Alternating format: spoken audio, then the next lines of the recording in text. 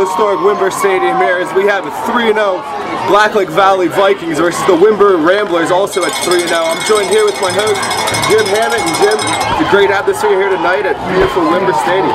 Yeah, we're looking to go uh, four for four on our games here. We've uh, picked the best game of the week the past three weeks, and uh, yeah, this one's shaping up to be such a great game. Uh, you have Blacklick Valley coming in here with Johnny Sheasley, the running back, and of course Windber uh, with the attack trying to replace uh, the wonderful Colin Bryan. So you know, it's going to be a great game, great atmosphere on hand here at Windber Stadium. Yeah, you know, it, it really is going to be uh, obviously Windber with that single wing. That's going to be something interesting to watch tonight. So. Here, Jim. Walking the penalty. Course kicking off and defending the North. We'll have Blacklick Valley kicking the ball off for you here tonight. Back deep for Windber, we have number two, Devin Tomlinson, number 15, Matt Barkley. Yes, same name as the USC uh, Heisman frontrunner quarterback. Jim, I thought I was going to get to say that.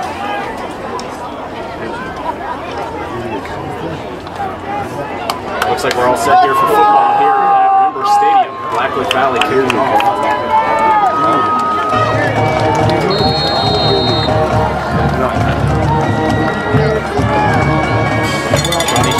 Kick is fielded at the five-yard line. We're playing football here at Windber Stadium.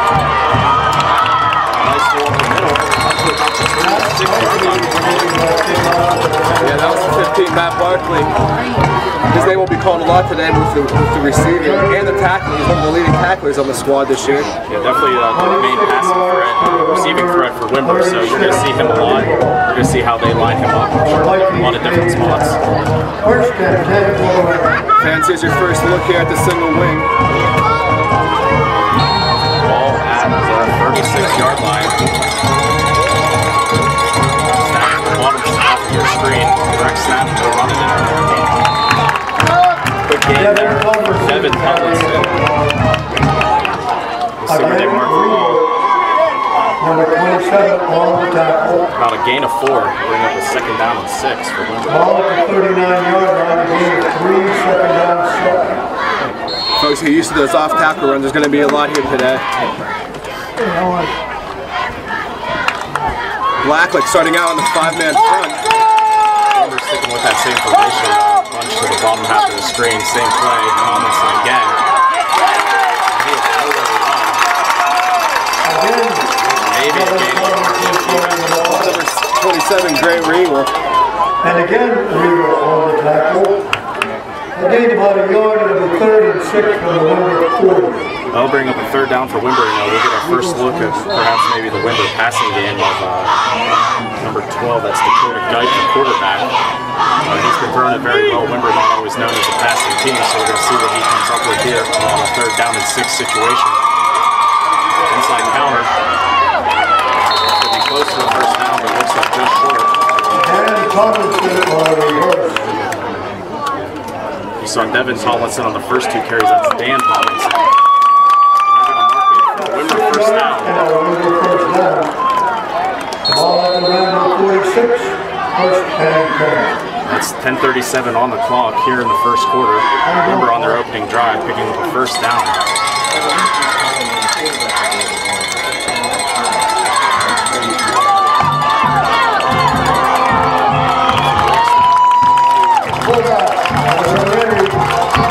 34, Trevor Neri. Neri is one of four women running backs with 100 yards rushing, uh, trying to replace the do-it-all Ryan, who's like walking out at Penn State this year. Yeah, you know, that's what the single wing will give you. That'll give you that versatility in the backfield. Not so much uh, as, a, as a downfield threat, but you're definitely going to get your balls. Uh, you're going to get the ball to a bunch of different ball carriers. It looks like Windber's going to want to control the clock, you know, you know, keep the ball in their hands, keep it out of Johnny Sheasley's. Again, we have another direct snap. Number eight. That'll be good for Windber first down again. We see uh, Blacklick Valley's safety is five yards from the line of scrimmage. You don't normally see that. Watch if uh, Windber's coaches can uh, take advantage of that.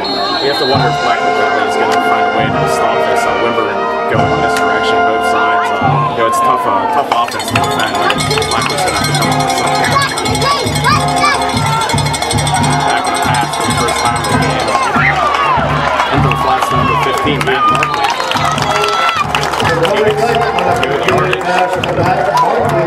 About a second down and two, we'll call it. Blacklick with Regal there, number 27, was looking in the backfield. The Obviously, after there's about eight straight runs. Play good for eight yards. The Thirty-four yard line on the Vikings second and two for the round. Yeah, how good, how dangerous is it to have a passing? You know, win on starting on this young. Uh, Jim, it's real big. We'll talk about it right after this play. Again, they're sticking with the pass.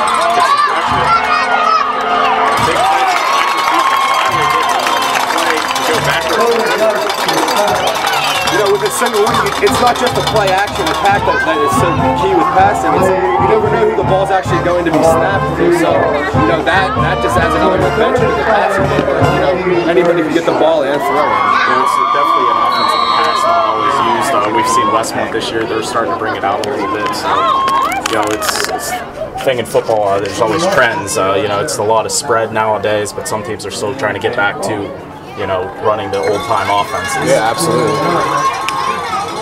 We have a reverse inside to number eight Tomlinson, and he finds some room to run, and that'll be good for a first down for again, Windber.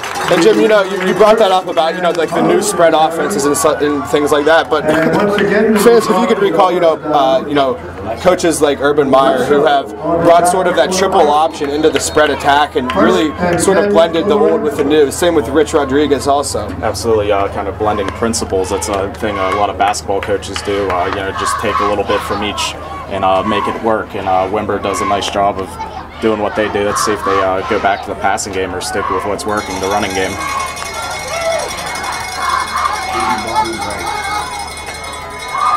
I think we got a block in the back. No flag. No flag. That was number 22 for Blacklick. Trevor Neri on the run there for Windber. On the tackle. Matty Worthington looks like he got clipped inside, but no call on the play. Picks up nine That would be a second down and one, and we have 7:28 remaining in the first quarter. No score. Windber on their opening drive. And one. Well, this is a great sustained drive here for the Ramblers. Actually, they're going to change it to a first down. Indicated. First down for Windber at the Viking 20. Interesting, uh, you know, it's marked short, and they didn't even call for a measurement. Uh, ref could obviously see it was a first down. Man in motion, that's Tomlinson. Guy with the direct quarterback keeper. Maybe two or three on that carry. Dakota Geiger. Stutzman on the tackle. They'll bring up a second down and seven, seven minutes on the clock down. in the first seven. quarter. No score. The Black League. Let's see how uh, this this single wing attack uh, adjusts to being in the red zone here. Staunch Blacklick Valley defense on the season. Huh? You have records. Suspended to uh, second Or to block school. Another misdirection carry. Their fumble on the. And that's just what Blacklick Valley needed. Windber was having such a great drive. 22 Matty Worthington again. And recovered by Black And it didn't look like Blacklick Valley was stopping Windber anytime soon. They needed a big play, and they got one. And now we'll get our first look at the all do it all Johnny Sheasley for the Blacklick Valley Vikings. Well, Jim, we saw it last week and we're seeing it today already. The turnovers in the first quarter, especially in the red zone. It must be the games we picked. There was about six turnovers in that Clearfield Central game we went to last week in the first quarter. Hey, Ralph. Yeah. Thanks. Yeah. They know. They know down there. They know. It's going to give you an idea. Defense what you really worry about. Sheasley in at quarterback hands it off. It's another number 27 again, Grant Regal. Picks up three, second down, seven. Well, Sheasley is listed as a quarterback, but uh, obviously leads the team in rushing, and uh, Blake. Ray has been leading the team in passing. So we're expecting to see uh, Sheasley in a bunch of different roles tonight, uh, as we saw last week with Austin Cunningham at Central, who even lined up at receiver. So I think Sheasley's that type of player as well. Just the build of him, it, it, he looks a lot like Austin Cunningham, He's real going to get the athletic. ball right here on a sweep around the side, and he's breaking it. And right on Stiff cue. Johnny Sheasley with a huge run out to midfield. That was a great looking run. Was able to get around the corner, fend some defenders off with that left forearm. Five yards and a Blacklick first down. Well, Jim, there we saw the first dose of Sheasley on the night. We see, we, he can, we see what he can do right away. Yeah, you know, yards to the Definitely living up to the hype on one play, and uh, you know I'm expecting to have a big game for him. Uh, Windber's going to need to find a way to key on to him and uh, try to limit, because you know he's going to get big plays like that. Just limit the big plays as best you can. Fumble on the care, or on the snap rather. Blacklick Valley uh, recovers. Fumble. Blacklick Looked like they were going back to recovered Sheasley around the corner again. They pulled the left guard, No gain on the play. and it looked like they had that sealed, but obviously the fumble. And ball is at the 48 yard line of Blacklick Valley. We have 5 minutes and 15 seconds to go in the first quarter. Windber fumbled on their opening possession, and now Blacklick Valley's coming to uh, running about their fourth play on offense so far. We've seen Johnny Sheasley in this same formation in a double reverse. He gets up over midfield for about a gain of four. Worthington carrying the football. That is Maddie Worthington, a 5'9 senior, number 22. Picks up about four yards. It's third and six on the Windber 48 yard line. Not even at the safety. They'll bring up a big third down for Blacklick Valley early in this game. They obviously want to keep this drive going and seeing what Windber can do on offense. Blacklick Valley wants to keep the ball in their hands, obviously. Sheasley, another on that sweep to the outside, trying to find some room. Good play by the Windber defense. Yeah, Windber, Windber really stepped up there. Their safety came up really, really nice there on the outside. Looked like Jake Polka was in there making the, making the stop, the senior. Sheasley, a yard long. So that's good pursuit on you know a tough running back like Sheasley on the outside. You know you just got to key on on him and uh, you know don't go for the fakes and just go right at him. And Sheasley, as they do everything back, he is punting for Vikings. Sheasley punting down to Tomlinson and Barkley. 16. Calls for the fair catch, and it's caught at about the 23 yard line, Devin Tomlinson fair catching. 24 rather. At the Windber 24 yard line where it's first and 10. All right, Jim. So you know we, we, we got to see a, a drive by each squad. Um, you know, Windber obviously with more first downs there, but you know one of the things that you're going to see obviously is misdirections. But what I've been keying on here is just watching the, the, the secondary coming up for each team. Uh, both really aggressive. So watch for some play actions here throughout the first quarter. Absolutely, both teams kind of have a similar game plan, uh, but uh, eventually you're going to have to try to break a play here, and uh, Windber's going to go back and pass, looking for a long ball, going deep, and the ball was pulled in We by have a number flag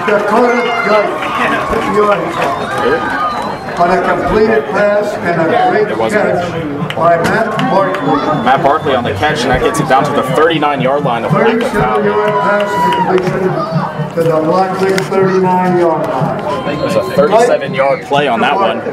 Looked like there was a little pass interference offensively, but wasn't enough to be called. Windber will go back to their base offensive set here. Direct handoff.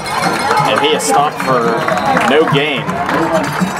Devin Tomlinson. That's Devin Tomlinson, one of the two Tomlinsons you'll hear, number two and number eight. Both are juniors, and uh, they both touch the ball in a variety of different ways. Windber likes to get them the ball, but uh, you know, good play there for Blacklick, finally getting a play in the backfield. And uh, again, we have uh, no score. Windber with their second drive, under three minutes in the first quarter clock. Windber with the ball at the 39 of Blacklick here. And again, staying with their base offensive set right here, the wing, man in motion. It's a give to number eight, Tomlinson, and he breaks free. And he's inside the 10 yard line. We'll call it about the 8 or 9. Windber on that play with the reverse quarterback was leading uh, was the leading blocker there through the hole, able to seal the, uh, the the left side of the of the defense. McAvoy. Sorry, the right side of the defense for Blacklick Valley. How many yards? 29? 29 yard gain for Dan Tomlinson. Here we go, Jim. Second red zone appearance here by Windber. First and goal. First and 10 at the 10, so it's a first and goal. See what Windber can come up with here. Uh, they fumbled last time they were in the red zone. They're going to do a sweep out to Tomlinson. He gains a yard on that play. Pitch out to Devin Tomlinson. That's Devin, number two. Regal on the tackle. And it'll bring up a second down. They're going to call it eight. Play gains about two yards. Second down, goal from the eight. See, you know, a team like uh, Windber with the offense they run is like, there's, you know, their plays are big plays. So you know, inside the ten, it's it's interesting to see what they run, how they're going to run it here. Uh, you know, you have two out to the top of your screen, so it might be a, looking for a pass, and that is a pass, and Geip is rolling, looking to the corner of the end zone, and we have a touchdown, Windber. Wow, that's a great great play by Dakota Guy, able to get that off, rolling out to his left, pressure almost immediately. That was Matt Barkley coming down with the catch, and it was a great job by Geip to see the pressure coming, keep moving back backwards, but was able to make the throw and find his man in the corner of the end zone. Uh, Yeah, and Jim, he, you know, he was wide open. Guy was able to just pretty much lay it out there. yeah, he sailed it right in there, and that gives Windber a 6 0 lead. Point one Henry after. Try the point after.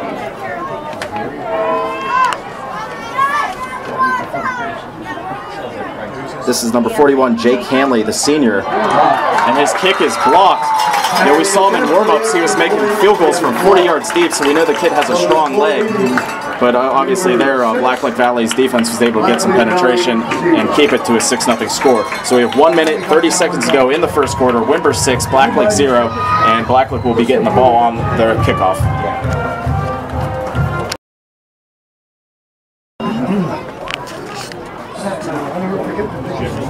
Okay, Windber's going to be kicking off here. Back deep, we have three Blacklick players. Sheasley in the middle. Jake Henley will kick off for the Ramblers. Well, if the Windber kickly, kicker Hanley kicking off, and again we mentioned of his strong leg, so we're going to see if uh, he may, he'll be able to put a touchback in and probably not kick it to number 12, because you don't want to see him get the ball in a situation like this. And they do just that, kick it away from Sheasley. Has some trouble fielding the ball. He picks it up at the four. He has nowhere to go. He's going to be wrapped up at about the 12 yard line, and that's where Blacklick Valley will start their second drive with a minute 24 on the clock, down 6 nothing. Returns it to the 10 where he's tackled by Jake Pocock and Troy Smith. Ball spotted at the Blacklick 12, first and 10. They'll bring up a first and uh, 10 for Blacklick at their own 12 yard line. And again, we've we saw Windber on their second drive open it up and pass a little bit more. We're going to see if Blacklick does the same or they're going to stick with Sheasley on the ground. And they're going to give it to Sheasley. And he's up over the 15 to the 16 yard line for a gain of four. Carrying the football. Jim, I think that was actually Grant Regal on that number 27. Making the tackle. Okay. Play gain about four yards, second down and six. We got a definitely a, a great crowd here. We were commenting right before the game started that we, you know it didn't look like it was going to be packed, but it's definitely a good crowd here at Windber. Obviously, they only have one-sided bleachers nowadays, but uh, you know it's really a, a, a great night here for football. Definitely a great night in the Westpac. Uh, this is the game of the week for a lot of Oh, different media outlets, and uh, I'm glad we picked this one, Dan. We have a pitch out here, cut to the inside. He's going to pick up about two or three on that one. And the clock is rolling with 32 seconds to go in the first quarter. It'll bring up a third down for Blacklick. And we'll see if they get off another play here. Windber's D line's looking like they, they're at least they're at least heavier than uh, than the Vikings, but um, we'll see if they can keep continuing to get penetration and force these backs who are coming to the line of scrimmage at times laterally. See if they can you know keep them laterally and just string them outside. As we see here, Windber does not have installed the play clocks as we've seen the past few weeks, so uh, a little bit behind on the game. Uh, you saw Clearfield have them, uh, the Point Stadium has them, I believe Tyrone had them as well. So it's a new thing in high school football having the play clock displayed. Windber still does not, and uh, they just ran out the clock there. It'll bring up uh, Folks, there's a there's a look at Coach Matt Grohol for the Windber Ramblers. Second season at the helm. Last year they, were the District 5A runners up, lost at North Star at Somerset High School last year. In that game, the great Colin Bryan from Windber was hurt. He's actually a walk-on right now at Penn State. Yeah, that's just a tremendous thing to see to try to uh, continue your football career at such a high level. You know, we, don't have to talk about the Penn State allegations, but it obviously opens up more room for walk-ons. Uh, we know Shane McGregor from Central Cambria. He's up there. He's the third-string quarterback at Penn State. So, you know, you know, it's it's a tough situation up there, but it definitely offers more room for walk-ons and definitely local guys that have the dreams of playing at Penn State might have a better chance now in the next few Absolutely. years. You know, Jim, I was living out in Arizona last year, and upon moving back, it's amazing that it's still the caliber of play that's here. Obviously, population decreased, but the play is still great. It's very good football in uh, Blacklick Valley, third down and three. Call out the play. Pitch out. It's a pitch out. He's cut and, and he picks up a first down. Pitch out goes to John Sheasley. And that was Sheasley, who else? And he picks up the first down for Blacklick. Tackled by Dakota Guyton. Gets them up to about the 30 yard line here. Sheasley picks up the first Yeah, you know, Windber just found out the hard way. If you let him get even one step outside, he's going to be able to turn that corner. Windber's still playing aggressive with the defensive backs. Yeah, it's been the Johnny Sheasley show for uh, Blacklick Valley. There's no secret of who's going to get the ball a lot. And there he goes. Be able to make some cuts inside of traffic. You know, that's pretty special for a running back to do. To make the cuts not to the outside, to the inside, and go for a couple extra yards. Yeah, you know, you have those pursuing, those pursuing defenders coming the other way, Jim. You know, just like you said. How much though does he remind you running the ball of Austin Cunningham? Really, just a, almost a spitting image as last week. Second and one. Yeah, very fluid running. Uh, you know, very confident. They have uh, the speed and quickness to beat you to the outside, but they're not afraid to go inside. Sheasley's a very good player, one of the best we've seen, and we've seen a number of good ones early on this season. Him and Williams. Bring up a second down and one. 10:52 left in the first quarter. Six nothing Windber. Blacklick Valley has the ball at their own 35. 34. A fumble. Sheasley was fighting for extra yardage. It looks like a Blacklick Valley player recovers it. Sheasley fumbling the football. That's number 80, 84, Justin Paul, the senior. Justin Paul, number 84, recovering the loose ball. That was a good hit there by Windber, able to take the ball out of the hands of, of Grant Regal, who got through the line for a few, but then fumbled it. Yeah, he's trying to get those extra yards. You got to secure the ball in a situation last night or last last week. I was at the pick game. You saw Russell Shell obviously trying to go for extra yardage. He got stripped. He was able to knock over some defenders, but of course the ball was the number one priority. Sheasley trying to dance. Does a spin move for about a yard to get out of that trouble. John Sheasley again. He's really a magician back there running the ball. Shane Almodovar making the tackle for Windber. Yeah, we've seen great running backs uh, like James Oliver out of Tyrone, uh, Casey Gray at Bellwood, of course Brady Moore at Central, and uh, you know, Sean Delaford still. Sheasley ranks right up there with all of them Yeah. early on in this game. You can tell uh, how he runs, how he handles himself. He's a very good player.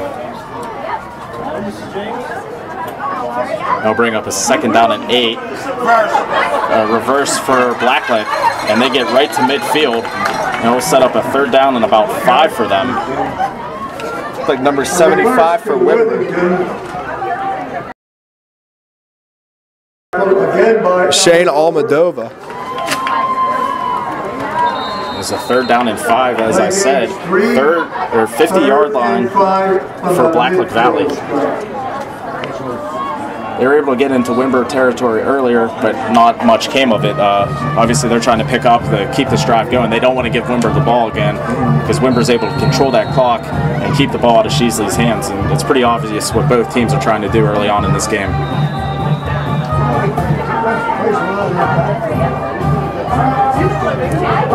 We have a timeout, Blacklick Valley.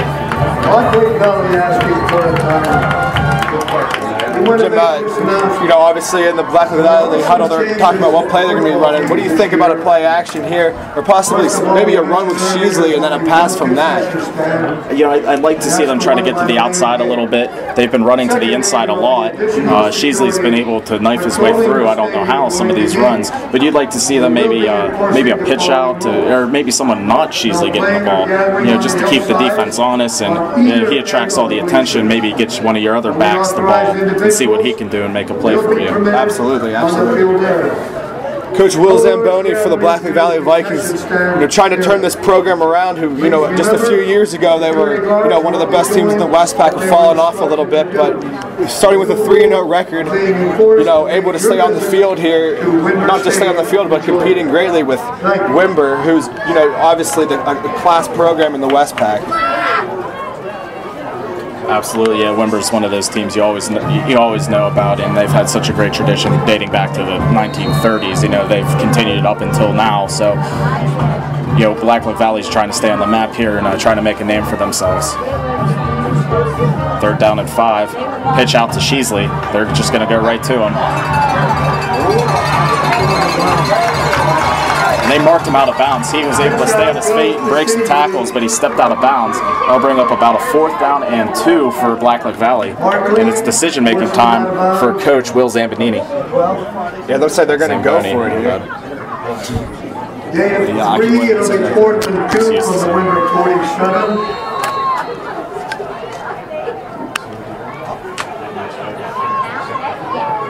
Vikings making a few subs here.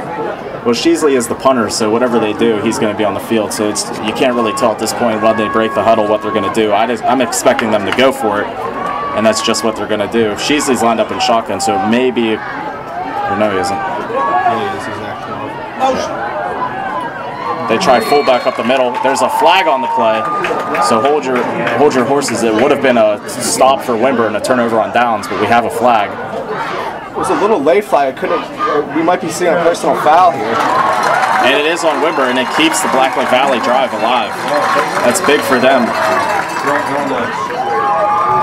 Let's see the call here. We have a, a five-yard face mask. Looking down at Coach Grohol now, just shaking his head. That's a bit. That's obviously a big penalty there for the Ramblers. Yeah, that's those are just silly mistakes. You know, just wrap up at the legs like you're supposed to, and not you know don't, don't be grabbing face masks. But again, you know Blacklick Valley on the right end of that play.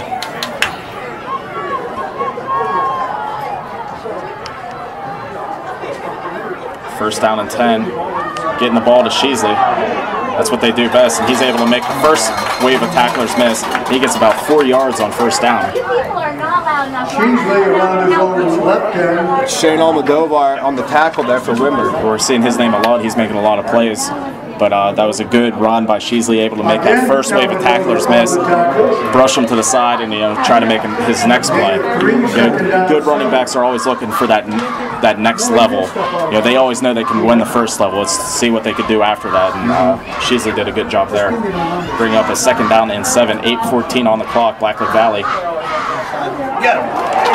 And we have a good play there by the Windber defense.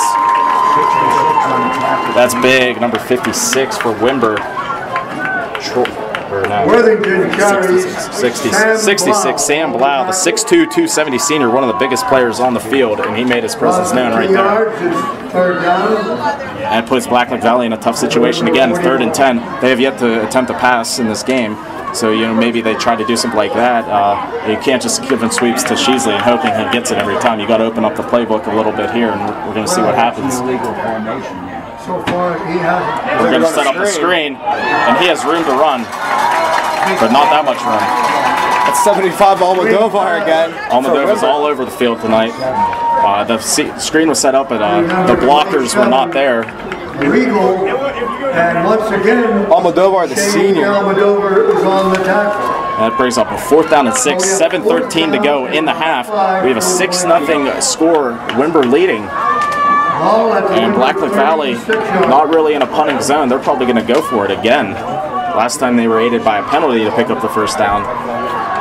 This time they're going to have to get six down to the Windber 30.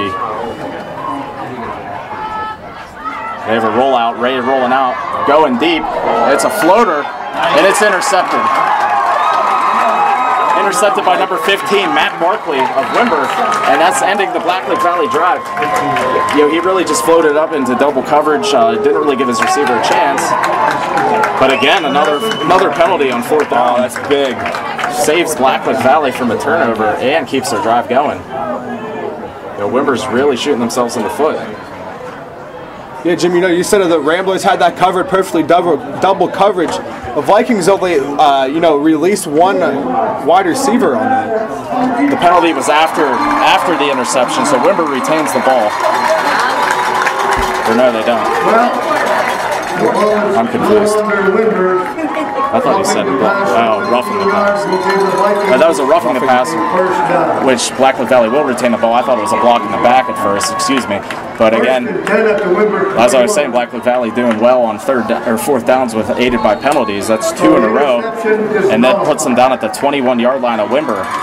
And uh, they're going to be entering the red zone here very shortly for the first time in the game. That's 6:44 left in the half, and the first time they'll be in the red zone.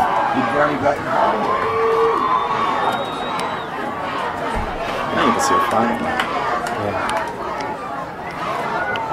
It's a double handoff again to 12 Sheasley. And he only gets two yards inside the 20 to the 19. We'll bring up a second down and eight. Another flag. We have another flag here, so hold on. Again, Almodovar on the tackle. Sheezy there looked like he outran his blockers almost. He's been doing that a lot lately.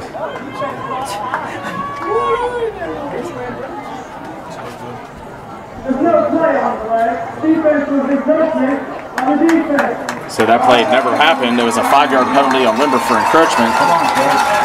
So that brings up a second or first down and five from the 16-yard line. Uh, Windber, that's three big penalties here on this drive for Blacklick Valley, and they're really self-inflicted wounds. Yeah, they really are. And you can see the quarterback of their offense, uh, the defensive end on defense, Dakota Gipe, you know, trying to, to get his teammates up and to keep their heads in the game here.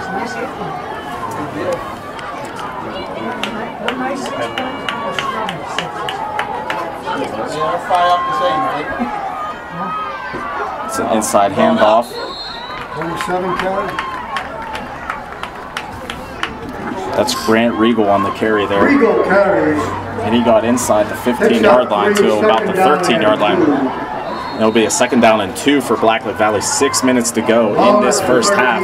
6 nothing. Windber leads it, but Blacklick Valley driving thanks in a large part to Windber penalties. Looking for Sheezy to get out wide here. They haven't really uh, opened up the playbook yet, but again, they're only down 6 nothing, and they've controlled a large portion of this clock. There he is again on that play they like to run with him. How he was able to stay in bounds, I really don't know, but he gets down to about the five yard line. That's a nice little eight yard run on third down. Yeah, Jim, we got to see that a couple times on the sideline. He's tiptoeing, but he's still breaking tackles at the same time. It's really, really amazing. The balance on him is unbelievable.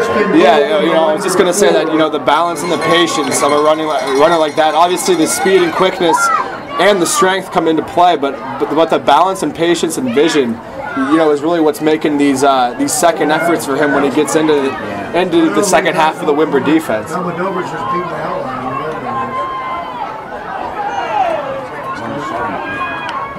So we have a run up the middle there. Regal Regal on the carry. the center of the line. Maybe a couple on that play will bring up a second down. Five minutes and 30 seconds on the clock, and it is rolling here in the first half. 6 nothing score. You know, this seems like this game's been going by real quick. Yeah, it really does. Well, not a lot of passing and a whole lot of running, and it'll do that to you.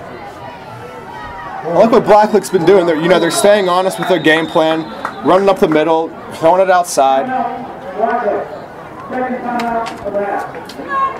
And we have a timeout, Blacklick Valley here, stopping the clock at 5:14 to go, left in the second quarter. They have a second and three from the three, and they're down six nothing here, but they are answering the bell set by Windber. Yeah, Jim, like I was saying, uh, you know, talking about the Blacklick game plan. You know, a lot of teams, if they're in trouble in a game and uh, things aren't going right at the beginning, they're gonna they'll just start giving it to their to their best player. But you know, the Vikings are making Windber, you know, stay honest with those inside handoffs. which uh, you know is giving Sheasley that room to the outside. It seems like a lot.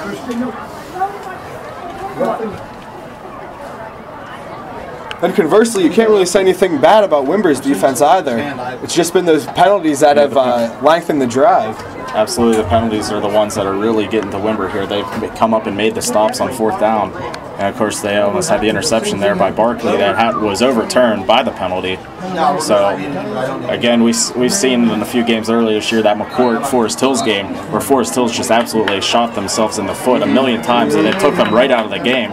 Yeah, you know, it really does remind you of that. It's the same type of feel, low scoring game, just as the just as the one at the Point Stadium was. So we'll see what happens here with uh, Blacklick Valley inside the five here, and I I have a guess at who's going to get the ball. He's down to the bottom left of your screen. There he is, fighting for yards, and he fights his way into the end zone for a Blacklick Valley touchdown. Time to score, six to six, 5:09 left in the half. Johnny Sheasley with another run, and he is doing it all for Blacklick Valley. Jim, how about those pitches outside? They're not just pitching it, you know, back just a few yards. They're really getting it out wide there. That's forcing Windber to, to try to get their ends really outside, and that's giving Sheasley that extra running lane either to cut it up or to break it outside even farther. Absolutely, it's just giving him space, and that's all he needs. He doesn't need a lot, but that, that pitch back a little bit further gives him that. We're gonna have a timeout here on the two-point conversion. We have an injured player by Windber. That's 75. Shane Almodovar, who's really been tearing up here. He's limping off on his own power, but he's gonna have to come out of the game. Blacklick Valley set for a two-point conversion here, and they just scored from two yards out or three yards out, so they're gonna be looking to run a similar play here. Jim, 75, you know, Almodovar, a guy 6'1", 285 making tackles downfield in this game, 10 yards downfield at times. just a testament of his athletic ability. You know, big guys can move, and uh, the point after is no good by Sheasley. But as to my point last night, as big guys can move. If you watch the BYU Boise State game, it was a seven 0 game. Only touchdown defensive lineman by Boise State. And if you can even believe that. There is hope for you get big guys. Number six, city officials.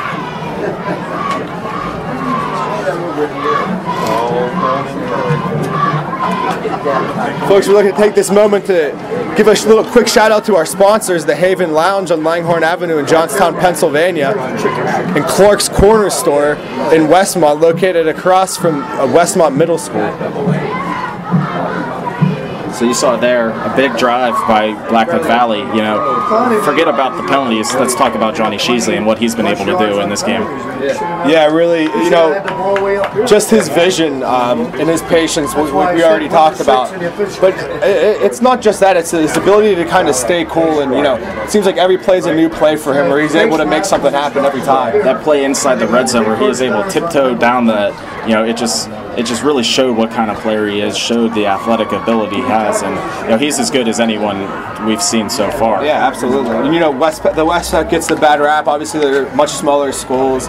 Um, you know, we've seen in the past, you know, LHAC teams taking them on, but you know, this Sheasley, he could play anywhere around here. absolutely.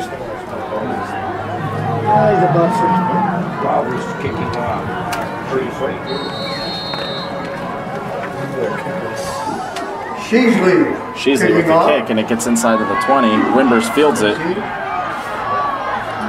Looks like one of the Tomlinsons on that return. Devin Tomlinson. That was Devin Tomlinson. That's number two. 17 yard line. And returns it to the Windber 37 yard line. First and 10 for Windber.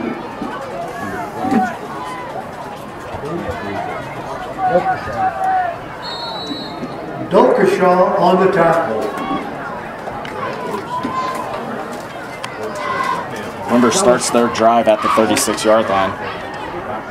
Tomlinson gets the ball on a inside counter again, and he gets some good yardage Ken there. Tomlinson carrying the football, Close to the about the 44 yard line, we'll call. it. That's about a gain of eight. picking up about seven yards. Windber's been able to consistently move the football this first half.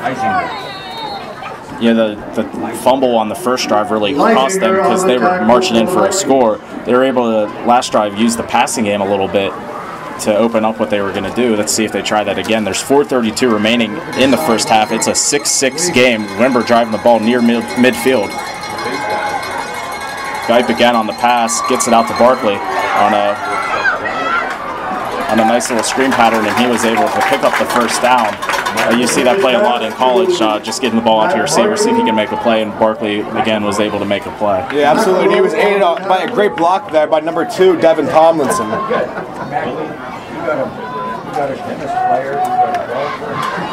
First down and 10 at the Windber 40 Well, Jim, it's shaping up to be another great game. This could be our fourth in a row that could go down to the wire. Obviously, we saw another half, but you know it's been a great first half so far. Yeah, it's surprising that we've actually been able to pick four four good games in a row. Let's hopefully we can do it five. We'll see what's up on top for next week. He had a nice run there on the inside, and that's Tomlinson On the again. Dan Tomlinson. We'll try to give him credit where credit is due. That was a little Devin to Dan connection there. Devin actually almost botched the snap. The snap was a little bit low, but he was able to get it off. Or he was able to get it and get it off to his brother. At the Blacklick 43. I was looking for that We have a second down and two here for Windber. 3.35 to go in the half. We have a 6-6 game. Thirty-four. It's a direct snap to 34, I believe, and he gets to the 28-yard line. Trevor Leary. Waiting through the That was a great call there by Windber's offensive coordinator. Trevor Neary, the 6'2", 202-pound fullback, he's a senior, and uh, he used his size there, and he was rumbling down inside the 30-yard line. And uh, Blacklick Valley again still having trouble stopping this Windber offense, but it's you know the score is only 6-6. Blacklick Valley using a lot of time on their drives, and uh, a Windber uh, fumble leaves the Ramblers with only six points. Same play to 34, Nary. He gets another eight. Trevor Leary hitting the center of the Jim, you, you see these methodical drives. Obviously, Blacklick had theirs, but Windber seems to be able to do it consistently so far. And you, you wonder how much longer Black, Blacklick is going to be able to, uh, you know, keep this level of play up. Play games eight yards. Ball at the Blacklick 20 yard line. Dan, how hard is it for a linebacker to? Uh, you see here, Windber, they've snapped the ball to four or five different guys. So yeah, a lot of football is read and react, but it's hard whenever a different guy's getting the ball every play. There's a fumble there, picked up by the lineman. Looked like his knee was down right when he grabbed it, but Leary fumbles the football, but Okay, picks you got a yard. fumble. Yeah, Jim, you know, one thing that comes to mind for me is uh, when I played at Bishop McCourt, we played uh, in 2004, we played Troy Harris in Bedford. You know, he was one of the kings at, you know, just having his motions perfectly timed for their triple option attack. And, you know, they, they gave it to so many different players. And, you know, that really reminds me of this Windber team who has so many different weapons, but they're able to employ their offense so, uh, so precisely.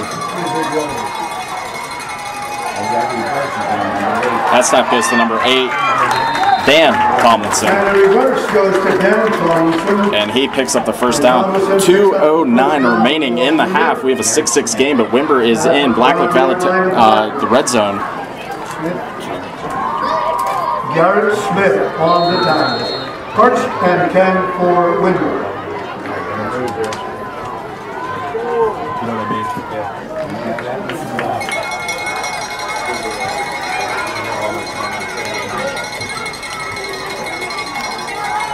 There's the direct snap. Get up in there. Fumble, Fumble the football. fumbled out of bounds. Dakota Kite carrying the football. Fumbling the football. Going out of bounds. The ball will be marked at the five-yard line. We have a minute 48 remaining in the half. At the Windber inside the 10-yard line here of Second Blacklick. down and three.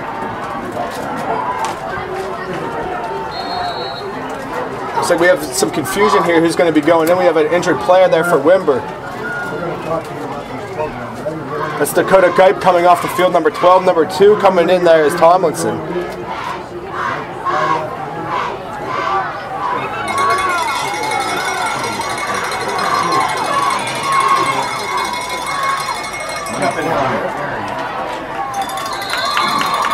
Jared Marizio. Marizio on the carry there. I haven't called his name much. He's uh, one of the leading tacklers on defense. He's just a sophomore. Oh, that's good to see another Italian there. Windber uh, has some some great athletes in the past, a bunch of Italians, and we're glad that at least they at least have one here. Uh, I'm sure they Let's have more play than game one. two, it's third and one at the Blacklick three. Brings up a big third down with a minute 30 to go in the half.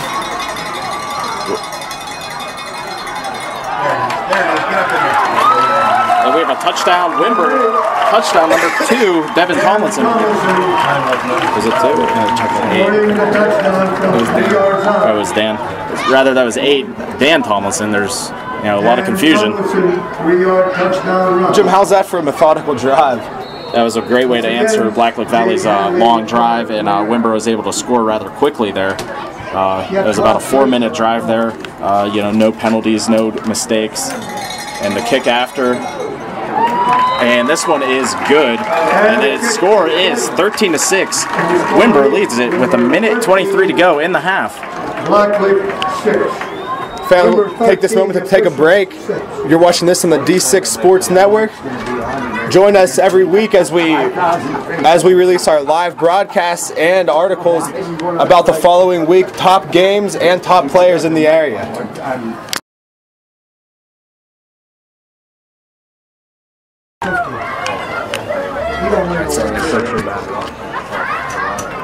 And we're back here with a minute 23 remaining. Windber leading 13-6 They're going to be kicking off the ball here. And again, Blacklick Valley is three guys deep. And they again stay away from Johnny Sheasley wisely. Blacklick Valley able to get a nice little return there up into the 25-yard line. Number 21, Garrett Smith there. Garrett Smith, the 5'6", 132-pound junior. Receiving that kick at his own five-yard line. Returns it to the Blacklick 26. Here we go, Blacklick, two timeouts. Hasn't put it in the air, or they put it in the air one time, so can Sheasley take them down the field here? 75 yards in a minute 15. Ray Bryan making the tackle for Windber. Windber sticking with the 5-2 front here.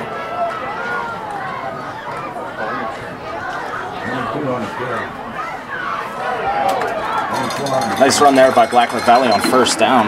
Worthington. Worthington on the carry. He gets up to over the 30 yard line to the 32. That's a gain of seven and brings up a second down and three. And we are under a minute here at Windber Stadium. The clock is rolling here. Blacklick Valley not with a lot of urgency, so they might be happy to go down here 13 6 in the half.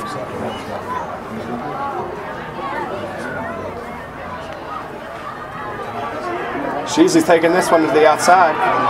Sheasley able to make a few guys miss. Not everyone, but he tried. 32 seconds and counting here. Now we have a stoppage of play. As you can see, he draws a lot of attention.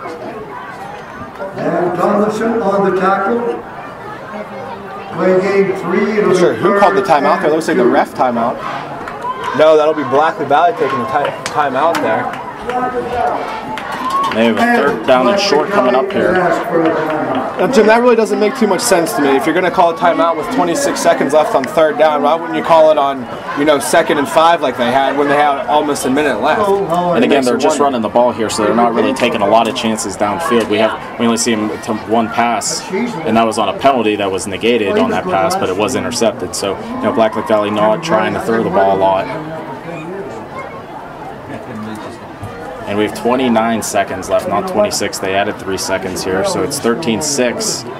Under 30 seconds to go in the half. And we're back out on the ball, and it's a third down. And we'll call it about one here. Still Zamboni. Gonna. Uh oh, Sheasley throwing it on a slant. Oh! He had his man in stride. Yeah, Sheasley with the bullet there. Pass intended for number 84. Justin Paul. Justin Paul was the intended receiver for Blacklick Valley. It almost looked like he ran two, two steps with the ball in his hands, never secured it. And Blacklick Valley misses a great opportunity. You know, it probably wasn't going for a touchdown there, but definitely would have put Blacklick Valley in better chance to. Uh, it's a fourth down and one. Yeah, Jim, you gotta wonder what the safety was doing on that play. The safety's number one responsibility is not to get beat, beat deep. That was Devin Tomlinson on this. So Johnny Sheasley, the punter here, gets off a not a very good kick at all.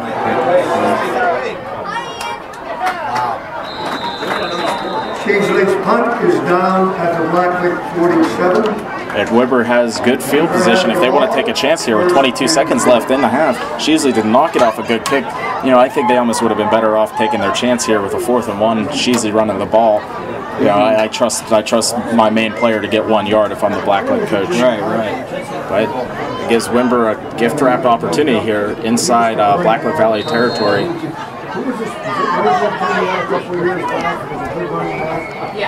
Well, we've seen the Ramos can definitely throw it downfield.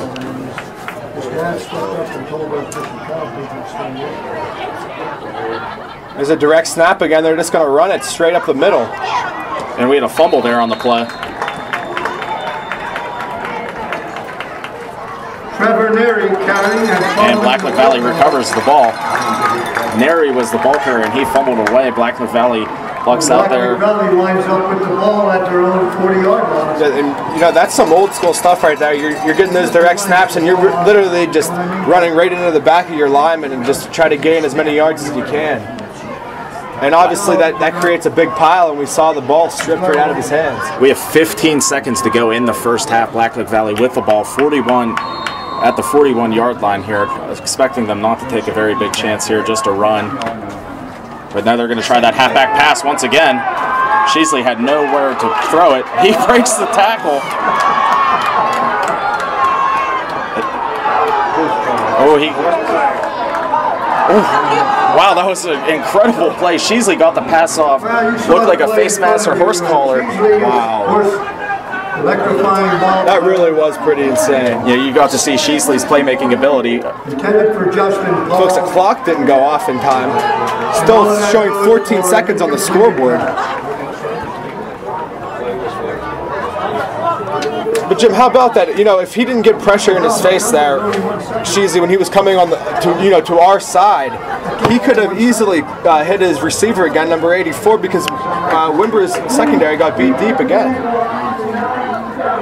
So they're going to fix the game clock and put it at nine seconds here. We have a 13-6 score. Again, on that play, you saw Sheasley come to this side, nowhere to go, breaks the tackle, still gets over, finds three men, and almost finds his man downfield. Yeah, how about the throw that he had? The throw he got off was unbelievable. Right here, right here, sack him. And that should be intentional grounding there. Nothing doing. No receiver in the area is still inside the tackles, it looked like.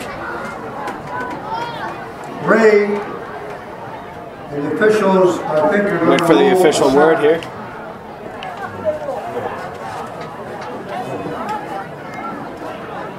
And that Looks like a pass interference call. Interference. What? He's a runner. that's a very questionable call. Blacklick Valley was not getting the pass off at all. And folks, the fans here are absolutely furious with the call. Pass, it was a hook There's no way it should have been pass interference. Uh, quarterback for Blacklick barely had time to throw the ball, let alone establish a receiver to get the ball. First and 10 at the Windber 44-yard line. You also have to take into consideration a catchable pass, which was thrown in the dirt, which Right. just yeah. very, very strange call there. So when so You can see Blacklick Valley, Gro- Grohall is wondering what the heck that call was, as you can see there on your screen. so are we, because we really don't know what happened there. Uh, Blacklick Valley again gets a gift wrap chance here to tie the game. Five seconds left in the half. They're going to try to make a play here. Look for that halfback pass to Sheasley. It's just a direct. Got a good pass off. And we have a touchdown of oh Blacklick Valley aided by another penalty of Windber. A last second heave, and that's a touchdown for Blacklick. And that'll tie the game at 13. That was 84. Justin Paul making up for that, that dropped one a few plays ago. And folks, that's that could be one of the most amazing plays of the year that I've seen so far. That was an unbelievable play there. Justin Paul, What a catch, what a throw. covered 44 yards. That's a 44 yard touchdown. No, we were talking earlier. Those the few plays that Sheezy was throwing. Uh, you know, a few plays ago, that that Windber was not playing back. Windber was letting him get behind them, and you know, you cannot do that and expect to get out of the half alive, especially with an arm like Sheezy. Excuse me, I said it was tied up. It's only 13 to 12. There's no time on the clock. Uh, Blacklick Valley is going to try here for a two point conversion to take a one point lead. Their first lead of the game, it would be. They get to pitch out. And he is knock it in. 13-12, heading to the half. Again, crazy plays here, some weird calls, but we're heading to halftime, so stick with us. We'll be back at the break. Black will defend the. And we're back on the uh, back here in the second half. Uh, Windber will be kicking off the Blacklick Valley as again, if you joined us earlier, uh, Valley uh, benefited from some Windber penalties and they scored and they're kicking it to Johnny Sheasley, the dangerous player from Blacklick. He was not able to get past that tackler. Good job by Windber special teams there. Jim, we're going over a few things, you know, at halftime and stuff. Uh, you know, a few things standing out for me for uh, Windber, Windber defensively, you know they're on the field right now, was well, a the um, the fact that they were that Blacklick was able to get behind them with just one receiver. Like, that's that's big in the defensive secondary. But then another thing is the tackling. The open field tackling has to be improved. With Sheasley, obviously, you know he's a he's a uh, all area type player, but you know you got you got to break down when you have him on the perimeter to be able to you know to, to do good things. Obviously, we saw Blacklick Valley not pass for most of the half. Then again, towards the end, they started using it, and they were able to score on that last second heave. So maybe you'll see Blacklick Valley throw a little bit, little bit more. Johnny Sheasley, listed as a quarterback, doesn't really play it. Maybe he'll throw the ball a little bit. So we had Worthington there on first down on a sweep reverse, and he did not get much of anything. He actually lost a yard. So it is 13-12 Windber here in the second half, just beginning. 11:25 left in the half, or in the quarter rather. Back to pass, another one-on-one coverage, and we're having another flag. Wimber intercepts it, but watch it here. We're going to see what happens. And he's able to return the ball. But we have a flag again on the play, and Matt Barkley intercepting the pass, but guess what? Matt Barkley was the interceptor there for Windber, but again, another flag. And Blacklick Valley is living off the penalties. That's two interceptions for Matt Barkley that were taken back because of penalties.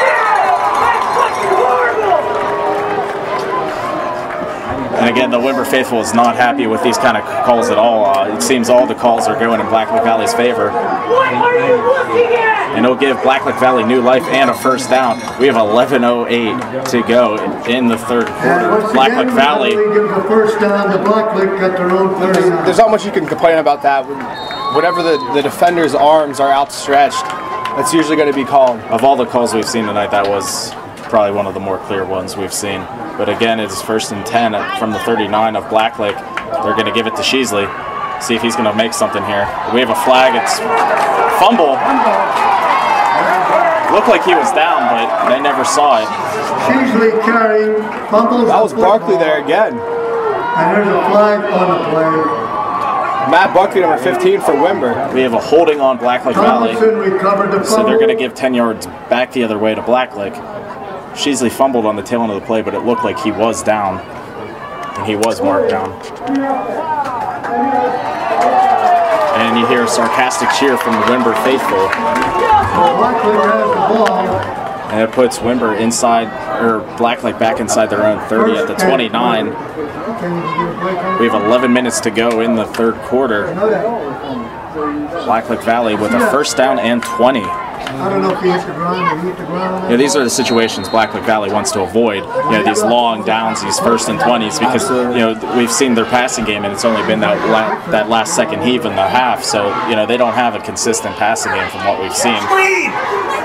The screen is set up.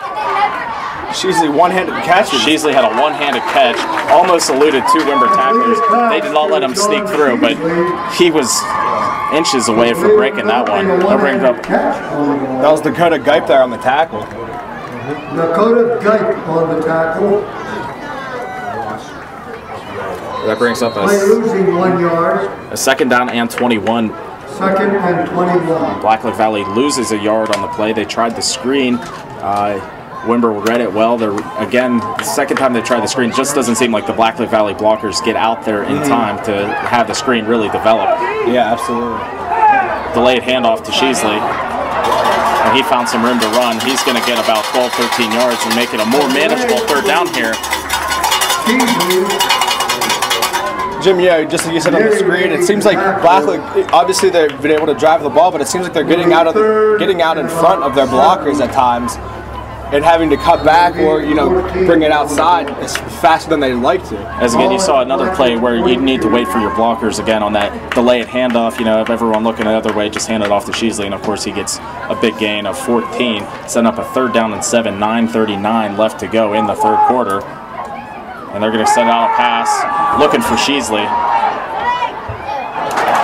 Thrown into double coverage of Windber. That is good defense by number eight Tomlinson and number 24 Maruzia. That was a great play by Tomlinson. He got turned around a little bit, was able to get his one arm in the air to deflect it back a little bit.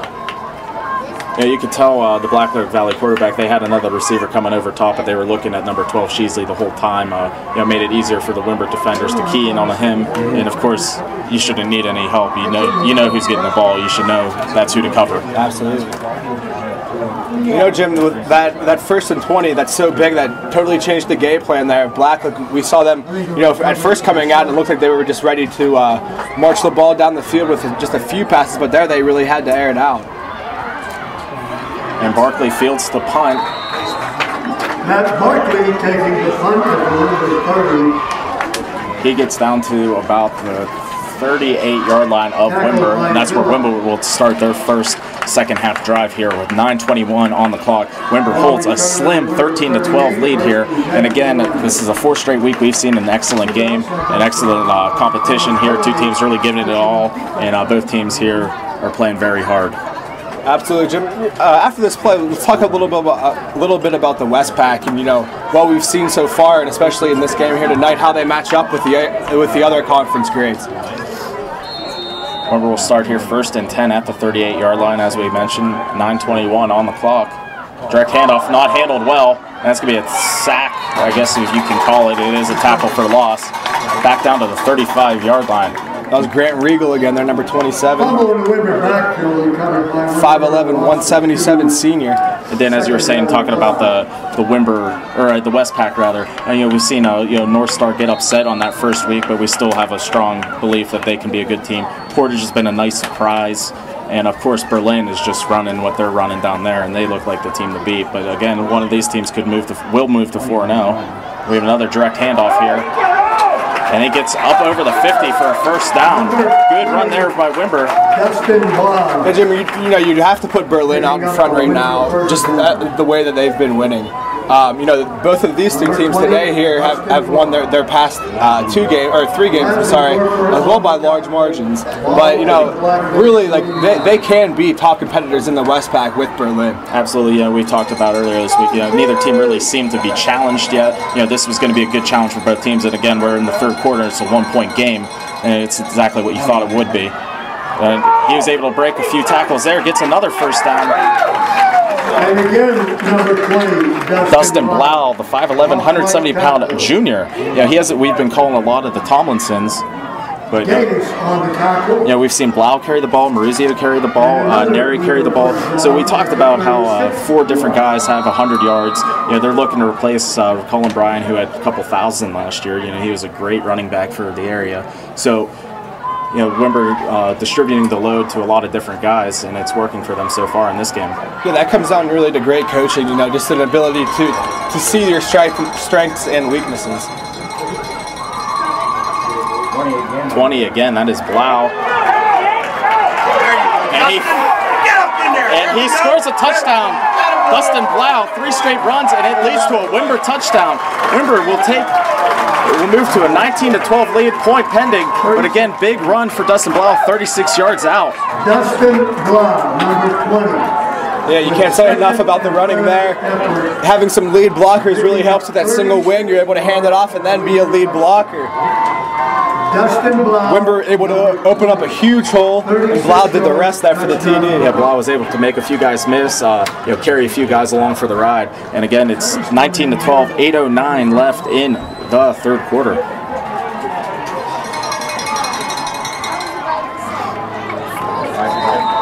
And Hanley with the extra point, and he makes it 20 to 12. Windber. As Blacklick Valley will receive the next kickoff here, and we have a man down here. So hold on a sec. How about we give away the 50-50 booster ticket? You ready for this? Blue ticket. Here we go. Number Folks are trying to get you a number there. 311046. That's 311046. You have that number? Man down there for the Vikings able to get up there. One more time. Blue ticket. Well, how, how big is that is that drive there for Windber? You know, coming off, yeah, able to stop uh, Blacklick, Blacklick Valley on their first drive, and you know, for uh, uh, for Windber to be able to come out and just really uh, punch it down Blacklick Valley's mouth is really uh, really key here in that second half. Well, it's a good thing for Windber because again, we've talked about a lot of the controversial calls, maybe some calls, and the Windber kids obviously thinking, you know, maybe they're going against us. So, you know, you don't want your kids playing against the other team and the refs. You want them to focus on the team at hand. That you don't want them worrying about the refs, Absolutely. begging for calls and stuff like that. The only way you can answer it really is to score a touchdown, play your game, and not worry about the refs. And Windber did fine on that. Yeah, especially in these big games when emotions can run high. It's really key. You know, these young athletes are really able to do that here tonight, and I'm really impressed with them.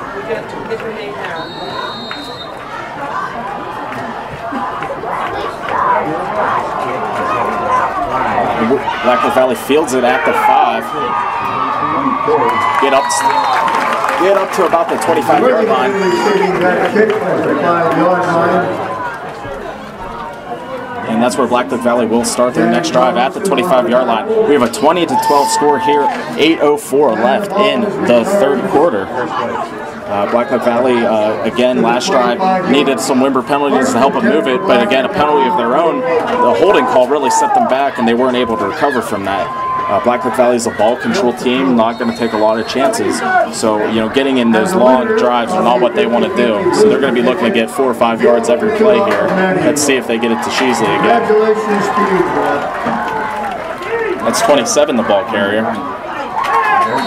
Grant Regal. I'm not sure why I'm not sure why Regal took that one outside. It looked like he had a hole there inside. Yeah, again- Sheasley was blocking there on the outside, and he tried to get around him. Yeah, as a fullback, you know, you don't always have the speed as the running back, so you got to take your yards so you can get them. A four-yard game would be very valuable for Blacklick Valley in this situation. Uh, you know, Sheasley's the guy you want, you know, trying to take the chances, trying to bust it to the outside.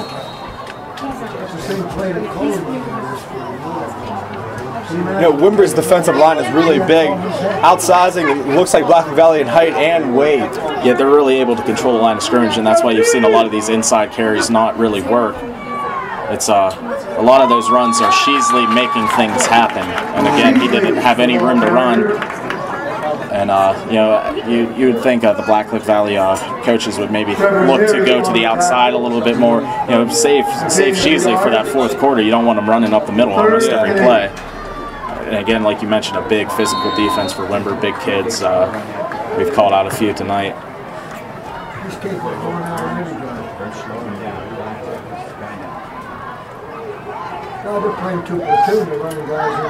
So we have 6:49 remaining in the third quarter. Blacklick Valley with a third down and eight, big play for them. They're going to hand it to the guy they know best, and that's Sheasley. Able to make a few guys miss, but not everyone. He gets down to about the 29-yard line for two yards. We'll bring up a fourth down and six with the clock rolling at 6:30 left in the third quarter. The Zach attack. Zach took. Game of about two on the play. It'll be fourth and six. At their own 29 for Blackman. Nah, not at all. 17-14 at half. Looks like a little stoppage here on the play.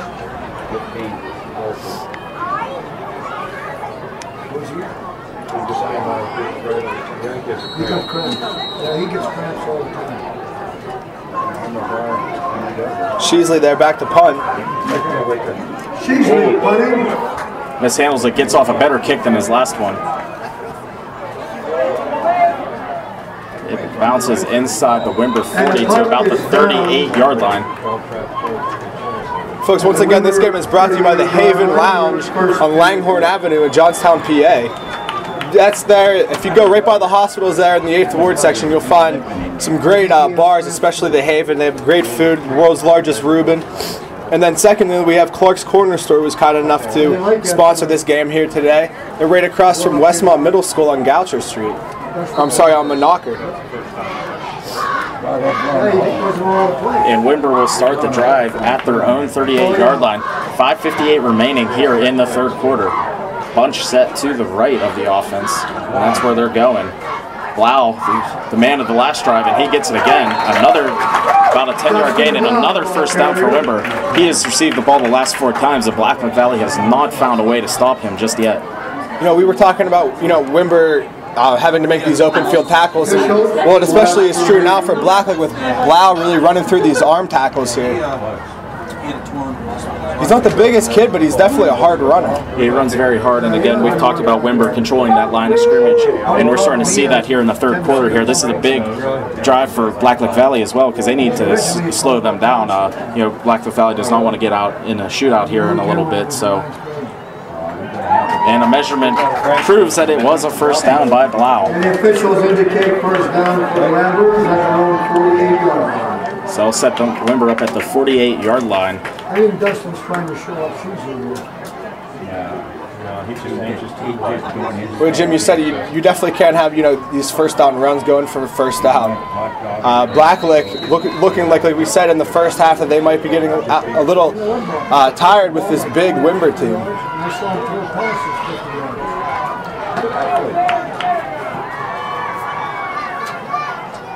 First down and 10 here for Windber. Able to cut it up. Get up over midfield for about a three yard run. Blacklick staying with the five-three. Really, it's, tough to blitz against these these type of offenses because you don't really know who's going going to get the ball every time. It's hard to blitz a team that doesn't pass as well. So you, you, it's a, like we've said before, it's a read and react situation uh, with different guys getting the handoff. We see Gipe, the quarterback, wasn't even in on the last play. He's coming in here now, he's calling in the play. Uh, it's been a lot of uh, running the ball, direct handoff or direct snaps rather, with Blau and the Tomlinsons. So, uh, you know, if I'm Windber, I'm sticking with that. Uh, no need to put the ball in the air. We have Blau getting the carry. Slithers his way into Again, about the 46 Blau yard line. That'll bring up a third down here for Windber and a big stop needed here for Blacklick Valley if they want to stay in this game and keep it a one score game. Yeah, Jim. Really, what it comes down to for the Vikings is just every man doing you know doing their job. Uh, a coaching great that I love is Nick Saban, who, who really stresses that is about execution and every man doing their job, and you know the results happen themselves. Uh, against this t- type of offense, you really have to focus in on that. I'm gonna have to put a cap on the Nick Saban references. That's two this year. two That's this too year. too many. I got Urban Meyer today too. Huh? That's gonna be near a first down for Neri. It's they have indicated it's fourth down. It's gonna be about a fourth down and one. Short of a first down by a yard at the So what do you do here if you're Coach Grohol? Looks like they're definitely going for it. You might be right about that. I think if I'm Windber, I'm keeping the ball on the ground. Uh, Ba- Valley has not yet to come up with a, many big plays to stop this Windber offense that is just rambling down the field, if you will. Number 20, Blau gets it, and he has room to run. Breaks another one. Hurdles his own man. He's going down to the 10, 5. Tackled at the one yard line. What a run by Blau, and he is really taking over this third quarter for Windber. Shows some really good speed there to be able to, to break that out. How about the able to leap over his own player, keep the run going, stay in stride, and almost put it in for the touchdown. 3:22 remaining here in the third quarter. It's a 20 to 12 score. Windber going in, looking to add on to this lead. 42 yard run by Dustin Blau. Well, Jim, if First and goal for the team. Jim, you know, there's that cliche line about high school programs, they don't build, they reload, but really at Windber, you know, you're, you're going to have a back every year that's really going to be able to turn it on. It seems they always have a good running back. Uh, you know, through the years, Kevin Erickson, Colin Bryan, and now you know, looks like Blau stepping up might be that new guy here. He's only a junior. So he could be the, the new man on campus, if you will, for Windber.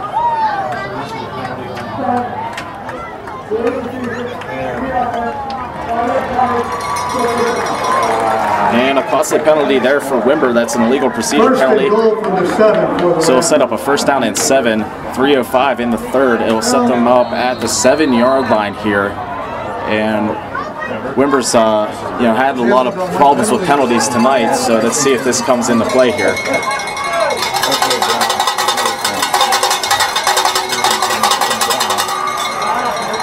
Blacklick Valley able to stuff that play right there. And we have a flag coming in here. So we're going to see what that play is. That's looks like personal foul territory there with that after the whistle flag. Indicating this one.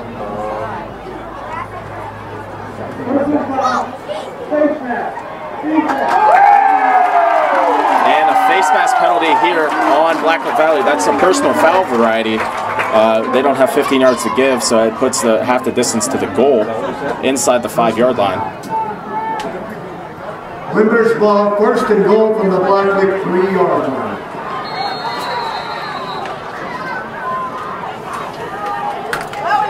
First down in three, 244 remaining here in third quarter. Windber looking to punch in another score. We have another flag, touchdown signal, but a flag on the play. Dustin Blau gets the touchdown, but we have a flag on the play. Good on Blacklick's side. You know, that really happens a lot in the red zone. You know, teams bunched up there, not not much space. You still have 22 men there on the field. And again, another Windber penalty. This one inside the red zone. So teams have already traded uh, three penalties here after the big run by Blau. So uh, it would only be fitting here if Blacklick Valley comes up with another penalty. Well, first and goal from the Blacklick eight yard line. 2:35 remaining, and uh, you know, a lot of wasted time here. Uh, we've had three straight first down plays. This is the fourth one, actually.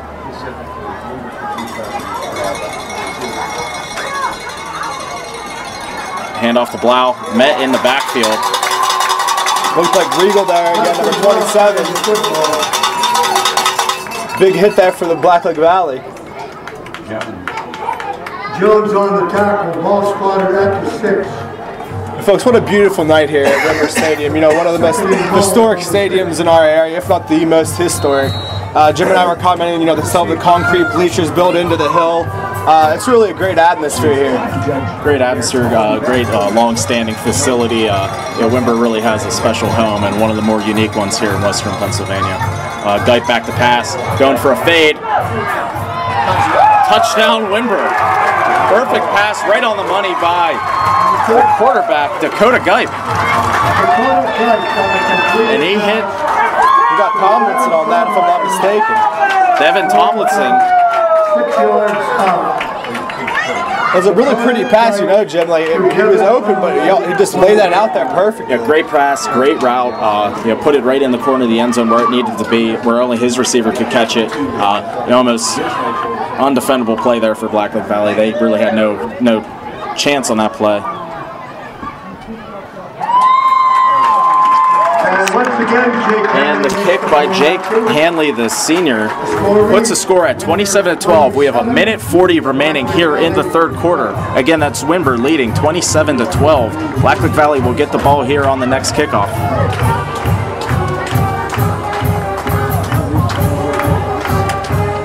You know, looking on the sidelines there at it looks like a little demoralized there.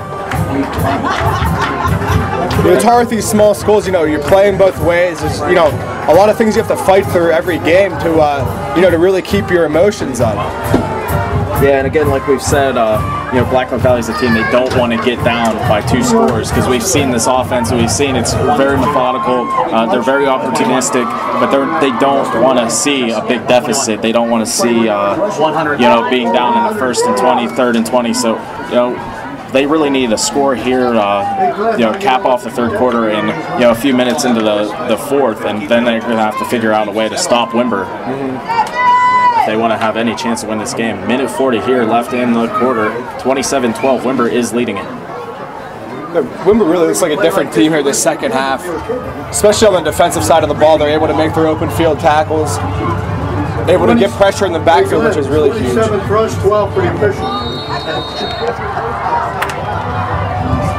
And we have a good kick there by Windber. And it's a touchback. Anytime a ball goes in the end zone, it is a touchback. Uh, we had a little discrepancy in week one. We thought uh, if you touch the ball, then it goes in the end zone, you had to field it. But in high school football, if the ball enters the end zone, it is an automatic touchback. How about Jake Hanley, the kicker for Windber? He's really a weapon here in the Westpac. Uh, you know, to have a team like Windber who who may not be able to punch it in every time they're able to get field goals. We saw him uh, at the beginning of the game had 43-yard field goals that he was drilling. Absolutely, and it's just like we've always talked about. It's such a weapon for high school teams to have good special teams. Uh, you know, you see Blacklick Valley; they're, they're going for two every time. It's just nice to have that sure one point.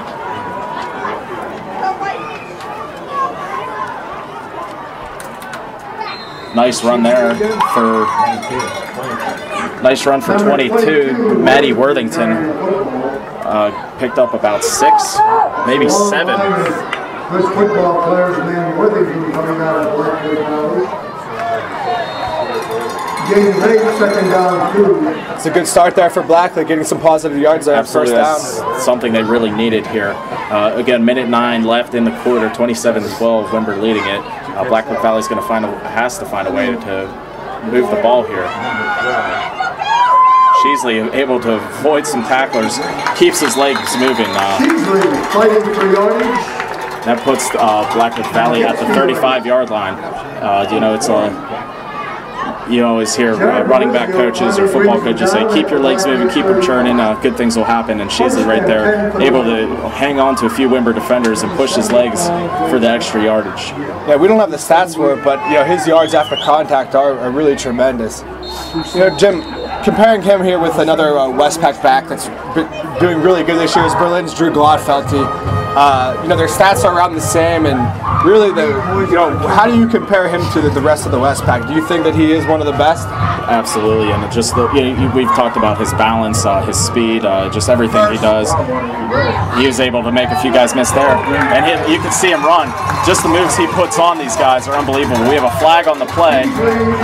Carrying the ball, we have a Again, just a simple run like that, you know, he hasn't been able to break the big one, but simple runs like that where he's able to make guys miss in traffic is just remarkable. Yeah, his, his you know his lateral movement is amazing, but not just that is he's not really losing any speed off of that. And we block in the back, indicated. a block in the back here on Blacklick. We have a man down here for Blacklick. So clock is stopped, 27-12 here. Windber's leading, 28 seconds to go in the third quarter.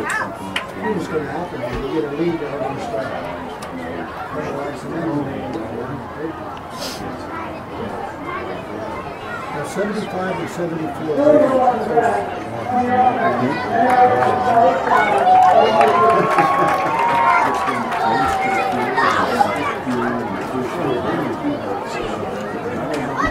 Blacklick has the ball and a first down at their own twenty-five. It'll be first and. Yeah, we talked about Windber here not having the play clock in the end zone, but a nice feature they have is the microphones for the referees. You don't always see that in high school football. Mm-hmm. Yeah, it's just nice to keep the fans involved and keep everyone in the press box aware of what's going on. Yeah, absolutely. It's a nice thing. And again, clock is rolling here, 14 seconds to go. They're going to try a pass. Going again, double coverage. Deflected by two Windber defenders and almost caught by the Blacklick Valley receiver. And that was stop the Great clock. pass. Eight oh, or eight seconds left here, I just did my and it's a second down and 20 for Blacklick Valley. Broken up just did my time in the big pen. The and kids are twenty. like, are you gonna cheer with us? I'm like, okay. And once again, Blacklick behind the sticks here. Second and 20. You know, eventually, uh, Blacklick Valley, they, it seems like they've been keeping it safe all game, so you might see that wraparound handoff to Sheasley on a delay or a screen pass, and it is a screen pass, and it's not Sheasley. We have another flag on the pen play. Screen pass to number twenty-seven, Regal. Tackled by Dan Thomas. Regal there, though, was able to get those blockers out there in front of him. Right on the play. Big number 75, Ken Carney. And the flag goes against Blacklick Valley again. And that's just going to set them. We'll see if Windber pins them deep or keeps it at third down. Hey, Mrs. J. Mrs. J. One second. And it remains second down. Uh, the clock is going to run out here. It's going to go to the fourth quarter. There's uh, five tenths of a second here, if you will. So once the ball is spotted, the quarter will end with a 27 12 score. It'll be second down 25 from the Blacklick Valley. And so we'll be back after a short break here. It's a 27-12 score. Uh, Blacklick Valley will start with a second down and 25 for the fourth quarter. So stay tuned for the exciting conclusion of the Blacklick Valley Windber game.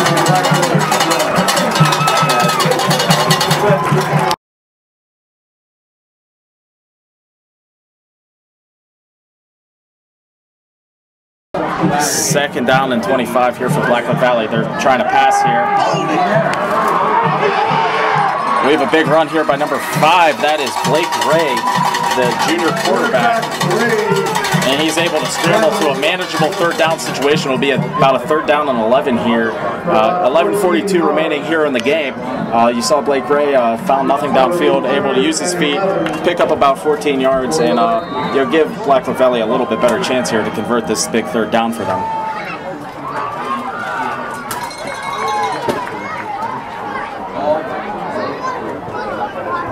We're looking to blitz.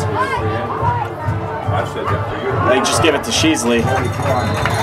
Sheasley carrying and Trevor making the pass. Well, down by 14, there was 11 minutes left. Faced with a fourth and about three. And about three for the Vikings. Now, Jim, you, you really do have to, you know, consider going for it here. It looks Yeah. like they are going to. Again, Sheasley is the punter, so The they score can in the third quarter is Richmond 36 and Johnstown. Yeah, you could do a lot of different things here, uh, but you know what? If you don't punt, you give the ball to Richland here, and they're likely going to score. It's really a tough situation because you need you need to score, but you don't want them to score. It's just Yeah, you're in a pickle almost. So fourth down and three, big play for Blacklick Valley if they want to win this game. He did not get it. He did not get the first down. Big stop by Windber. And Sh- Shane Almodovar stops uh, the Blacklick Valley drive. And. Sheasley had a head of steam, but he was not able to get to the first down. He was met with authority there at the line. And Windber will take over the ball here with in Blacklick Valley territory. Jim, we were talking in the first half. Almodovar is a de- defensive tackle, and he's going out there and stopping Sheasley on a sweep.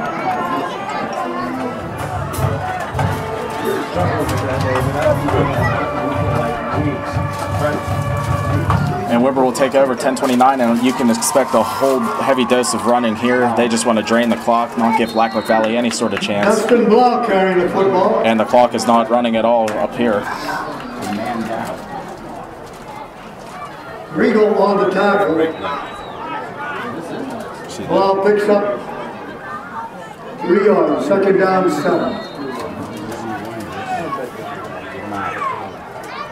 So again, it will bring up a second down and seven here from the 40-yard line of Blacklick Valley, actually just inside the 40-yard line. Uh, Windber with the clock running here at 10-11, up 27 to 12, and they don't appear to be any sort of hurry here. They just want to keep running the ball, pounding away. Inside counter to Tomlinson, he is stopped. Fumble on the play. Blacklick Valley gets the ball, and they got the break they absolutely needed. Yeah, that's a huge breakdown for Blacklick here. Over nine minutes left to play. You really, you know, you really got to get a scoring touchdown out of this.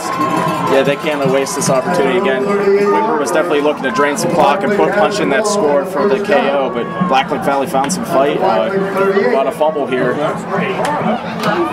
And the ball will be at their own 38, but a first down and 10, just inside 10 minutes, 9.58 remaining.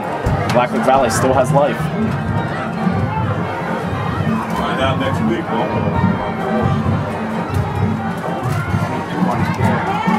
nice gain on first down for Blacklick Valley, about four, maybe eh, about four yards, we'll call it. That was Worthington on the carry. Maddie Worthington, 5'9", 143 pound senior wingback.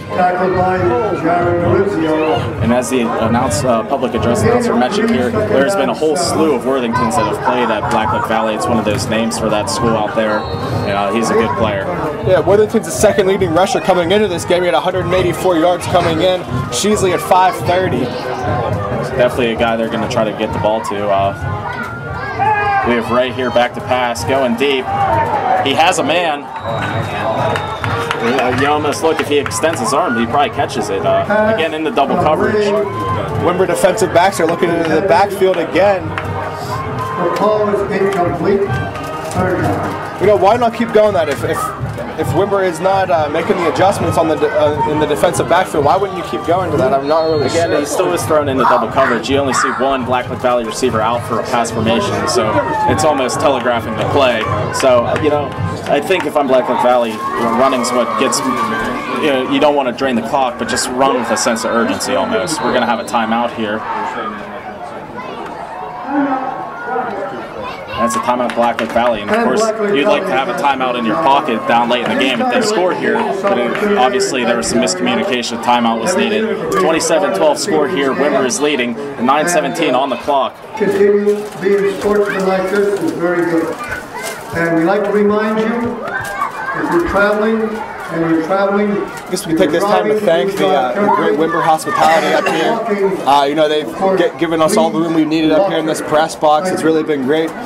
Uh, AD Ralph DeMarco and company have been, you know, just re- really great and really, uh, really hospitable. I guess you could say. You got some chips and drinks up here for free. Yeah, this week, you know, after being outside the past two weeks, it's nice to get back inside a press box and a, a nice, spacious press box here at Windber Stadium. Uh, you know, we've had all the room we needed, and uh, big thanks to their athletic department for letting us cover this game. And uh, big thanks to you for watching this game here on the D6 Sports Network. And uh, we're back out on the ball. The timeout is over. Third down and seven is the situation. The score is 27-12 Windber. 9.17 to go remaining in the game. Blacklick Valley needing a big first down here to keep their drive alive and have any hope of winning this game. Crucial play for both sides. 22 in motion. Looks like a screen. Nope. Going, going for it all again. And we're going to have an interception, and then Windber gets the interception finally. We've seen them pick off two passes, both negated by penalties. This one finally intercepted. And Jim, you know who that was? That was 15 again. They're Matt Barkley, his third interception. First one, like you said, that counted. Yeah, It's a great play in the air on the ball. I'm sorry, Jim. Oh, absolutely. Uh, Barkley's just playing great, actually, defensive back. Uh, you know, coming up with three interceptions, you know, from what we've seen. So he's a he's a good player, and uh, we've seen him come up in the passing game. But again, nine minutes, nine seconds left. We're going to be expecting a heavy dose of running here from Windber. Athletic too, you know. and uh, look to drain some clock and uh, you know kind of suck the life right out of Blacklick Valley's uh, hopes here. See some fans here leaving, folks, as well. Looks like they're in, most of them were in the, the black and gray of Blacklick Valley. That was a run up the middle, and again, it's hard to follow this offense sometimes because you have guys going left, you have guys going right. You never know who's going to get the ball snapped to them. So you know, it's again, it's a tough offense to defend, and it's a tough offense to call if you're an announcer. I think we did a good job all right tonight. Folks, it's come a long way since our first game, Bellwood Tyrone. We were able to bring you that game live, and also our week two matchup, Forest Hills and uh, Bishop McCort. Uh, you know, we really enjoy bringing these games to you guys. And again, 8:33 left to go in the game. Windber running the ball. That is Blau, the carrier. He gets up for a first down. That'll stop the clock momentarily. Now the refs call it off. First down for Windber at their own 22.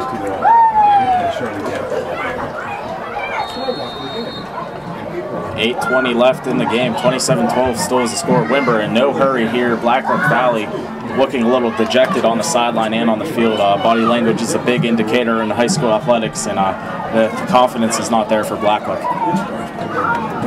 They were able, they squandered that opportunity to get that uh, fumble for a score.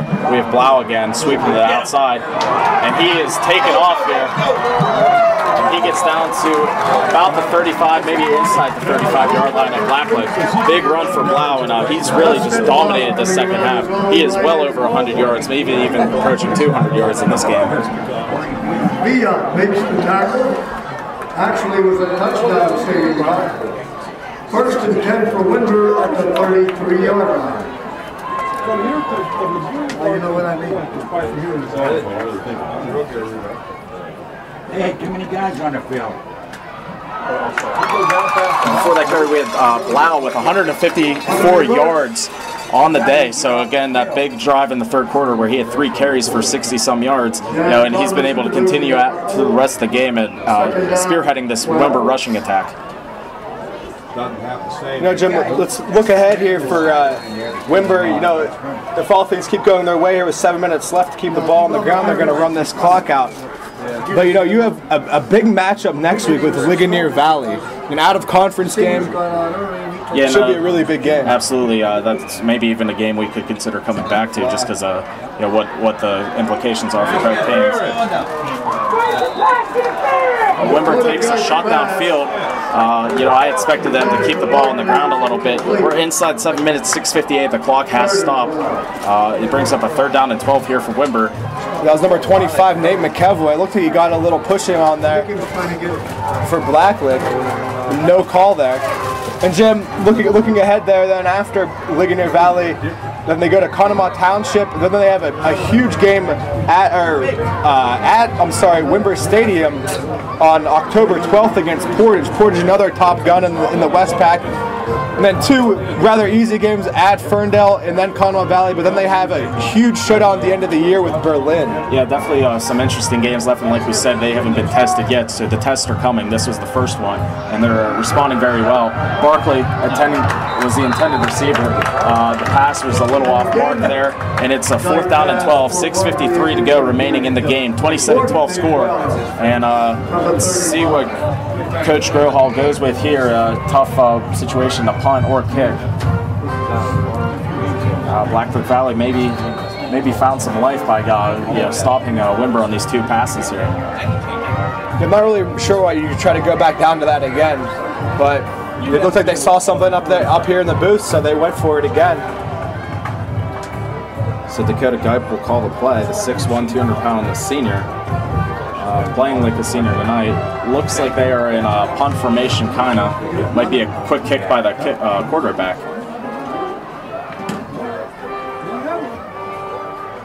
Trying to get a hard count here. Ooh, snap over his head. Gets off the kick anyway. And uh, pretty good kick considering the circumstances. Uh, mishandled snap. Other guys punt going out of bounds on the Blacklick 26.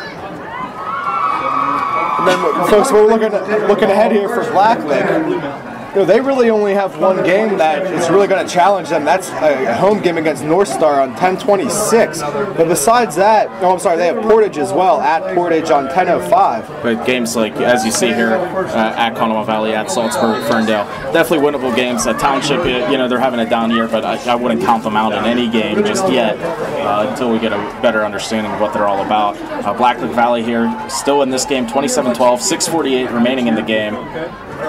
Double reversed here for Blacklick, uh, trying to get some yards up to the 30-yard line, maybe a three-yard carry, and the clock is rolling 6:39. I know time is running out on Blacklick Valley's hopes here today. So talking about District 6A playoffs, um, in the past we've had a lot of teams been in the, that have been able to make it to the playoffs, and there's been you know first or second place teams that have had buys, but this year it's a little bit different, isn't it, Jim? Yeah, it's just a eight-team playoff, much like uh, Double A. Only there's 24, 25 teams in the single A race, so it's going to be a real battle to get into any spot. And you know, at this point, you just want to get in. And uh, of course, Windber, there's District Five. They don't have to worry about something like that. They're almost in already. Uh, Valley, they definitely need to.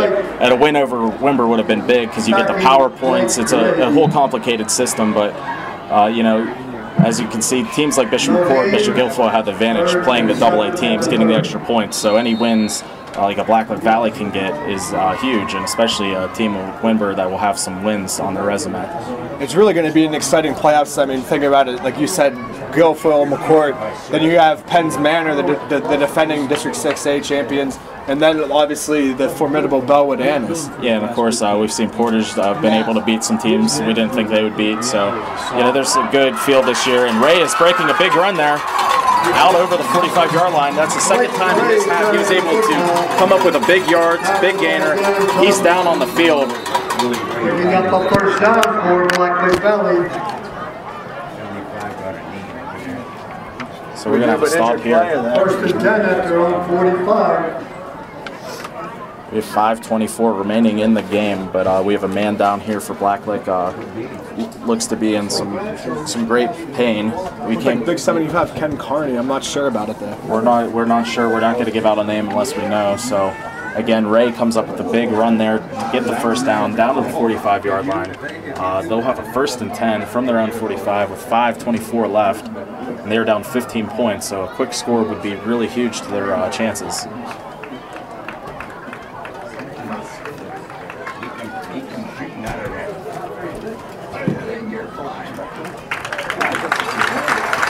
That was Carney there on that. Good to see him get off the field there. He has that knee brace on his left leg. Looks like he's favoring it a little.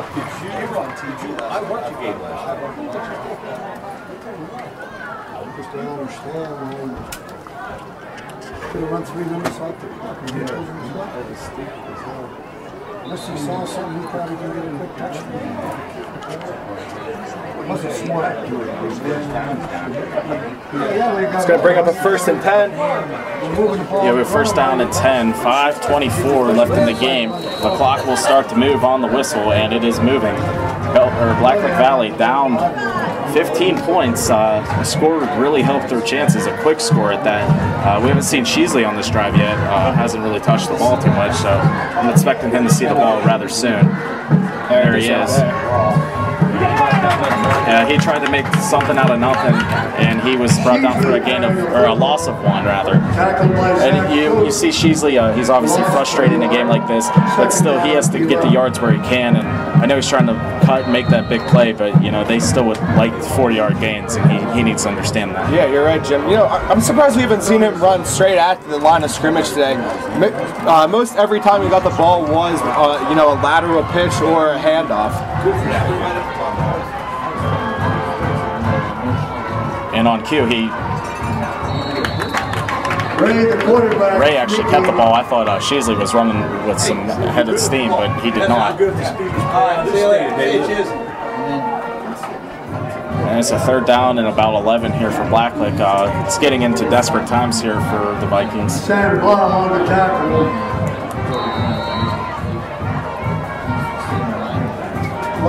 Ray. Third down and eight. Third and eight. at the 47 yard line of their own. It's four minutes on the clock. Uh, you know, they need to score now if they want to have a chance of winning this game, making things interesting here for the last few minutes.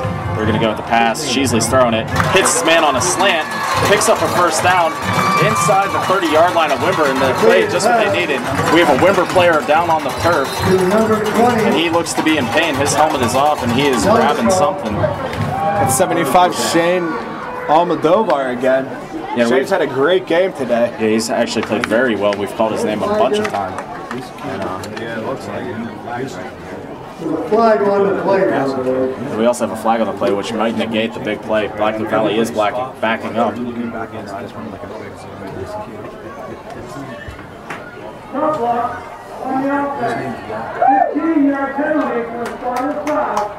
It's a, it's a congrats anyway, but they don't job like that guy. Well, it's a big penalty there for Black, like almost a nail in the coffin there. Got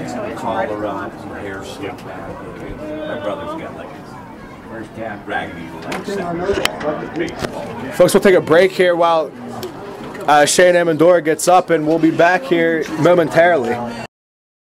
Life, but uh, 346 remaining in the game. Third down and 25 for Blacklick Valley. Uh, you know, it's a do or die play here almost. They're at their own 32 yard line. Windber never got a sub in there to take a timeout.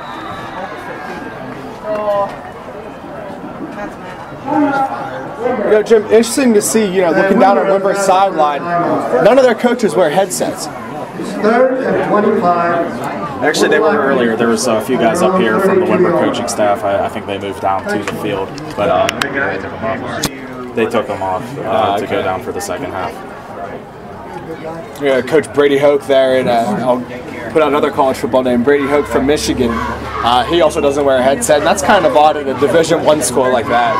Yeah, but uh, that's uh, just a lot of faith in your coordinators and your assistant coaches that they can relay the messages to you, and uh, obviously that Hoke relies on that. And Michigan's, you know, going through a nice renaissance uh, of their program after the Rich Rodriguez era. Oh, absolutely.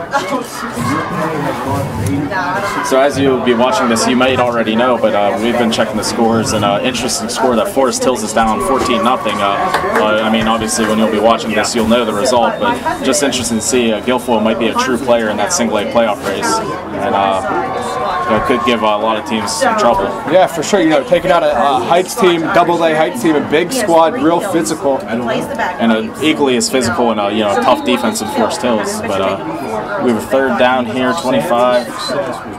Sheasley passing, hook and ladder, fumble. Hook and ladder pass. Fumble. There's been no indication by the referees, but I think they're going to say that he really didn't catch it and possess it. He sort of caught it and then just kind of like tapped it. And the Oh, fumble count. I'm sorry. It looks like it's going to count as a reception. yeah, confusing play. But it was uh, it was just a simple fumble. Uh, kind of overthought themselves there. Remember, we'll take over after a 40-yard line. 3:36 remaining. They're up 27-12. It seems like this game's almost a wrap. Windber's just going to run out the clock here, to maybe put in some of their JV guys, get some some varsity experience playing in front of the Windber Stadium crowd, and uh, we'll see what goes out. The starter Gipe is still in the game at quarterback, and you can tell Blacklick Valley is totally dejected. Uh, they did not they did not play well. They did not have the showing they wanted to. Of course, they scored on some Windber penalties. You can't, you, you know, you can't say they didn't score those touchdowns. Yeah, but, uh, You know, they just didn't have the offensive output they wanted to have. You know, the defense kind of let them down as Windber's offense Mary the controlled the line of scrimmage. Sorry, I'm rambling. No, Jim, you're absolutely right though. You know, like we said in the first half about like wearing down black, like Windber was definitely able to do that. Just their plethora of backs and then their you know the staunch offensive line has really been able to help them, and defensive line also. It was really a great game by all of them. So again, we have three minutes to go in the game. Uh, Windber's just running the ball here. It's a second down and five. Uh, nothing too exotic here. No crazy plays. It's nice to see Blacklick Valley coming in, jumping the hole, trying to make some plays. Uh, don't want to give up that extra touchdown. Jim, looking forward here again. You really hope that number 75 Shane Almodovar is okay for Windber. We saw him taken off the field there a few plays ago. He was such a key cog in this def- defense today. It was really unbelievable. His ability to make plays downfield or laterally on the line of scrimmage was Absolutely, really for a big man, he was able to get down the field, uh, you know, make tackles out in the open field. Uh, you don't see that a lot from defensive linemen, so you know he's obviously a big part of Windber's success. Third down and five from the 34-yard line here. Guy gets the call. They're going to throw it. That's complete to Barkley. The clock's going to stay rolling. Might be a first down here. 2:14 on the Pass clock. to Matt Barkley.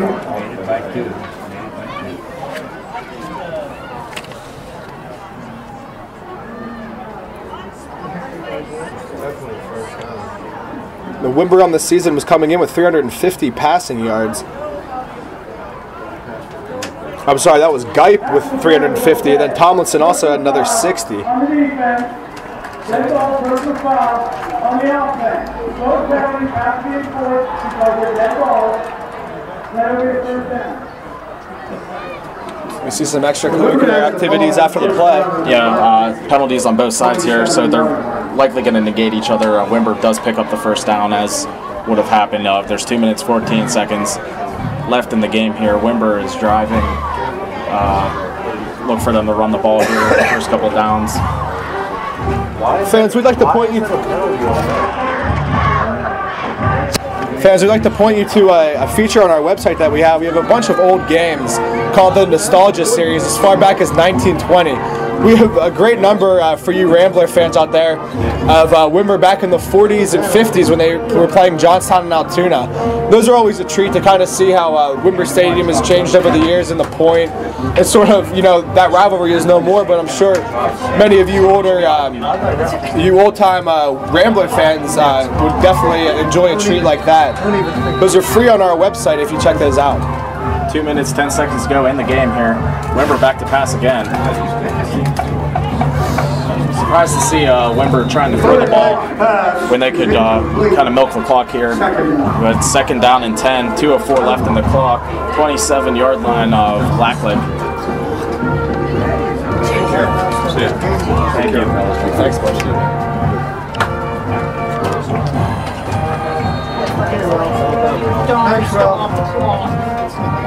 2.04 remaining. Uh, second down here. Not sure why Windber is trying to throw it there. Uh, remaining here in the same uh, formation they've been running all night. 34, that's Neri getting the ball here. He's going to cut it up. He's going to score a touchdown for Windber. That'll set Windber at 33 points. Blacklick only has 12 uh, point after attempt coming. And uh, you know, it's just a real combination that Windber just dominated the second half. 20 unanswered points here, looking to make it 21. Yeah, really, you can't say anything else than that. Windber really able to do whatever they wanted here in the second half. And you know, it's good for a team like Windber to you know face some adversity. How the second half or the first half ended with uh, the weird penalty calls and the, of course the last second touchdown put up. So you know they were able to respond, uh, not let that play a factor into their game plan. And they stuck it out and played their game, and uh, it obviously paid off. Well, Jim Snow, what do you think this huge matchup next week against Ligonier Valley? You have a, the, the rushing of Ryan Torrance of Ligonier, who's really just been unstoppable this year. Has about 10 touchdowns rushing, if we're not mistaken, before this week started. And, you know, he's really a premier player. He's, he's sort of like a Sheasley being that star of the team, but, you know, Ligonier is a big double A school. Uh, you know, they can really bring it too. So next week's matchup is going to be definitely, uh, That'll definitely be a, great match. Definitely be a good game here at Windber Stadium. Uh, we have yet to pick our game of the week next week. Uh, we'll try not to do Windber two weeks in a row, but if it comes to it, uh, that's not a good. one- That's not a, not a bad one to do. How many yards did she have? Nice season. How many did she see? 109. 109. Folks, we're getting word here up in the booth that Sheasley from Blacklick at 109. Not sure yet on the stats there for Windber as running back. Lau had 158 yards for Windber. Uh, you know, of course, uh, uh, the Tomlinsons touched the ball, and uh, of course, Neri also touched the ball. So a bunch of different guys for Windber touched the ball, uh, running, and Gipe, uh, Gipe was able to make some plays out of the quarterback position. So Windber is very, uh, very deep, very talented. Uh, obviously, they had more playmakers than Blacklick. Uh, we. You know, Blacklick was kind of relying on Sheasley to do a lot. Windber was able to rely on a host of carriers, and uh, Yeah, really, that comes down to the you know coaching and tradition at Windber. Blacklick Valley making a nice little play here. Running into his own guys. He breaks it. Don't know how he broke it. Sheasley's going. Going. Gone. You can't say enough about how good this kid really is. You're really, you, folks, you're seeing here one of the best players in our area. It doesn't matter what conference, you know, what division, what, you know, what double A, single A, what are you? You know, he's one of the premier players. The shiftiness, vision, patience, it's all there. Speed. John Sheasley, 92 yard touchdown. That's a 92 yard touchdown for Sheasley. Uh, don't go away just yet. It's 34 19. Still going to be really tough for Blacklick Valley to do anything, but nice to see Sheasley. Uh, you know, let out some aggression, uh, some frustration, score a touchdown, make a big play. Uh, that's what he's capable of doing.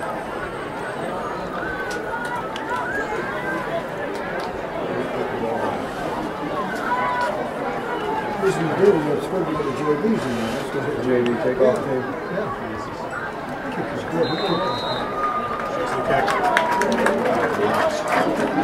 So 34 18. Kicks the extra point. Well, Jim, uh, you know we have our feature on our weekly podcast about uh, uh, the, our high school Heisman hopefuls.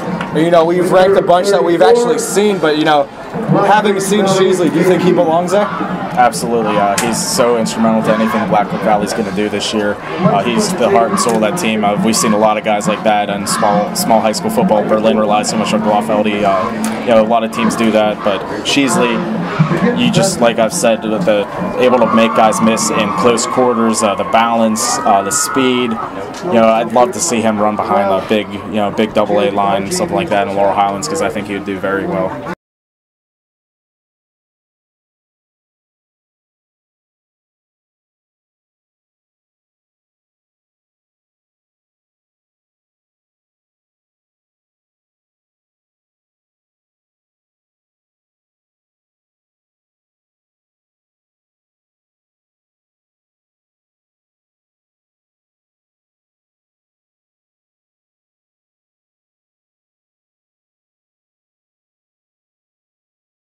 So we have a minute 40 remaining in our game, 34-18. We'll see if Blacklick Valley maybe tries an onside kick to prolong this game here. Uh, Windber is definitely anticipating that. A bunch of guys up near the line. So one of the most exciting plays in sports. Fielded easily.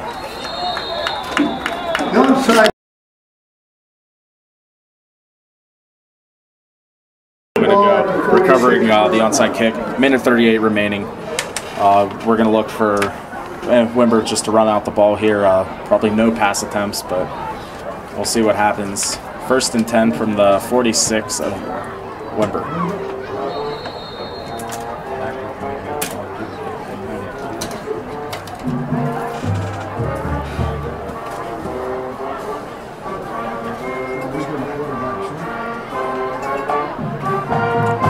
QB kneel down, good gesture by Coach Matt Hall of Windber. And uh, that's going to drain the clock here. They're going to have to do it a few more times. Minute 30 a.m. counting. And uh, again, we're going to wrap things up here. Uh, no need to see uh, everything here. Uh, I'm Jim Hammond with my partner Dan DeFrancis. Uh, we came to you from Windber Stadium. Great atmosphere, great game. And again, we'll see you next week at our next game of the week. Listen to our podcast, check our website, and good night, everyone.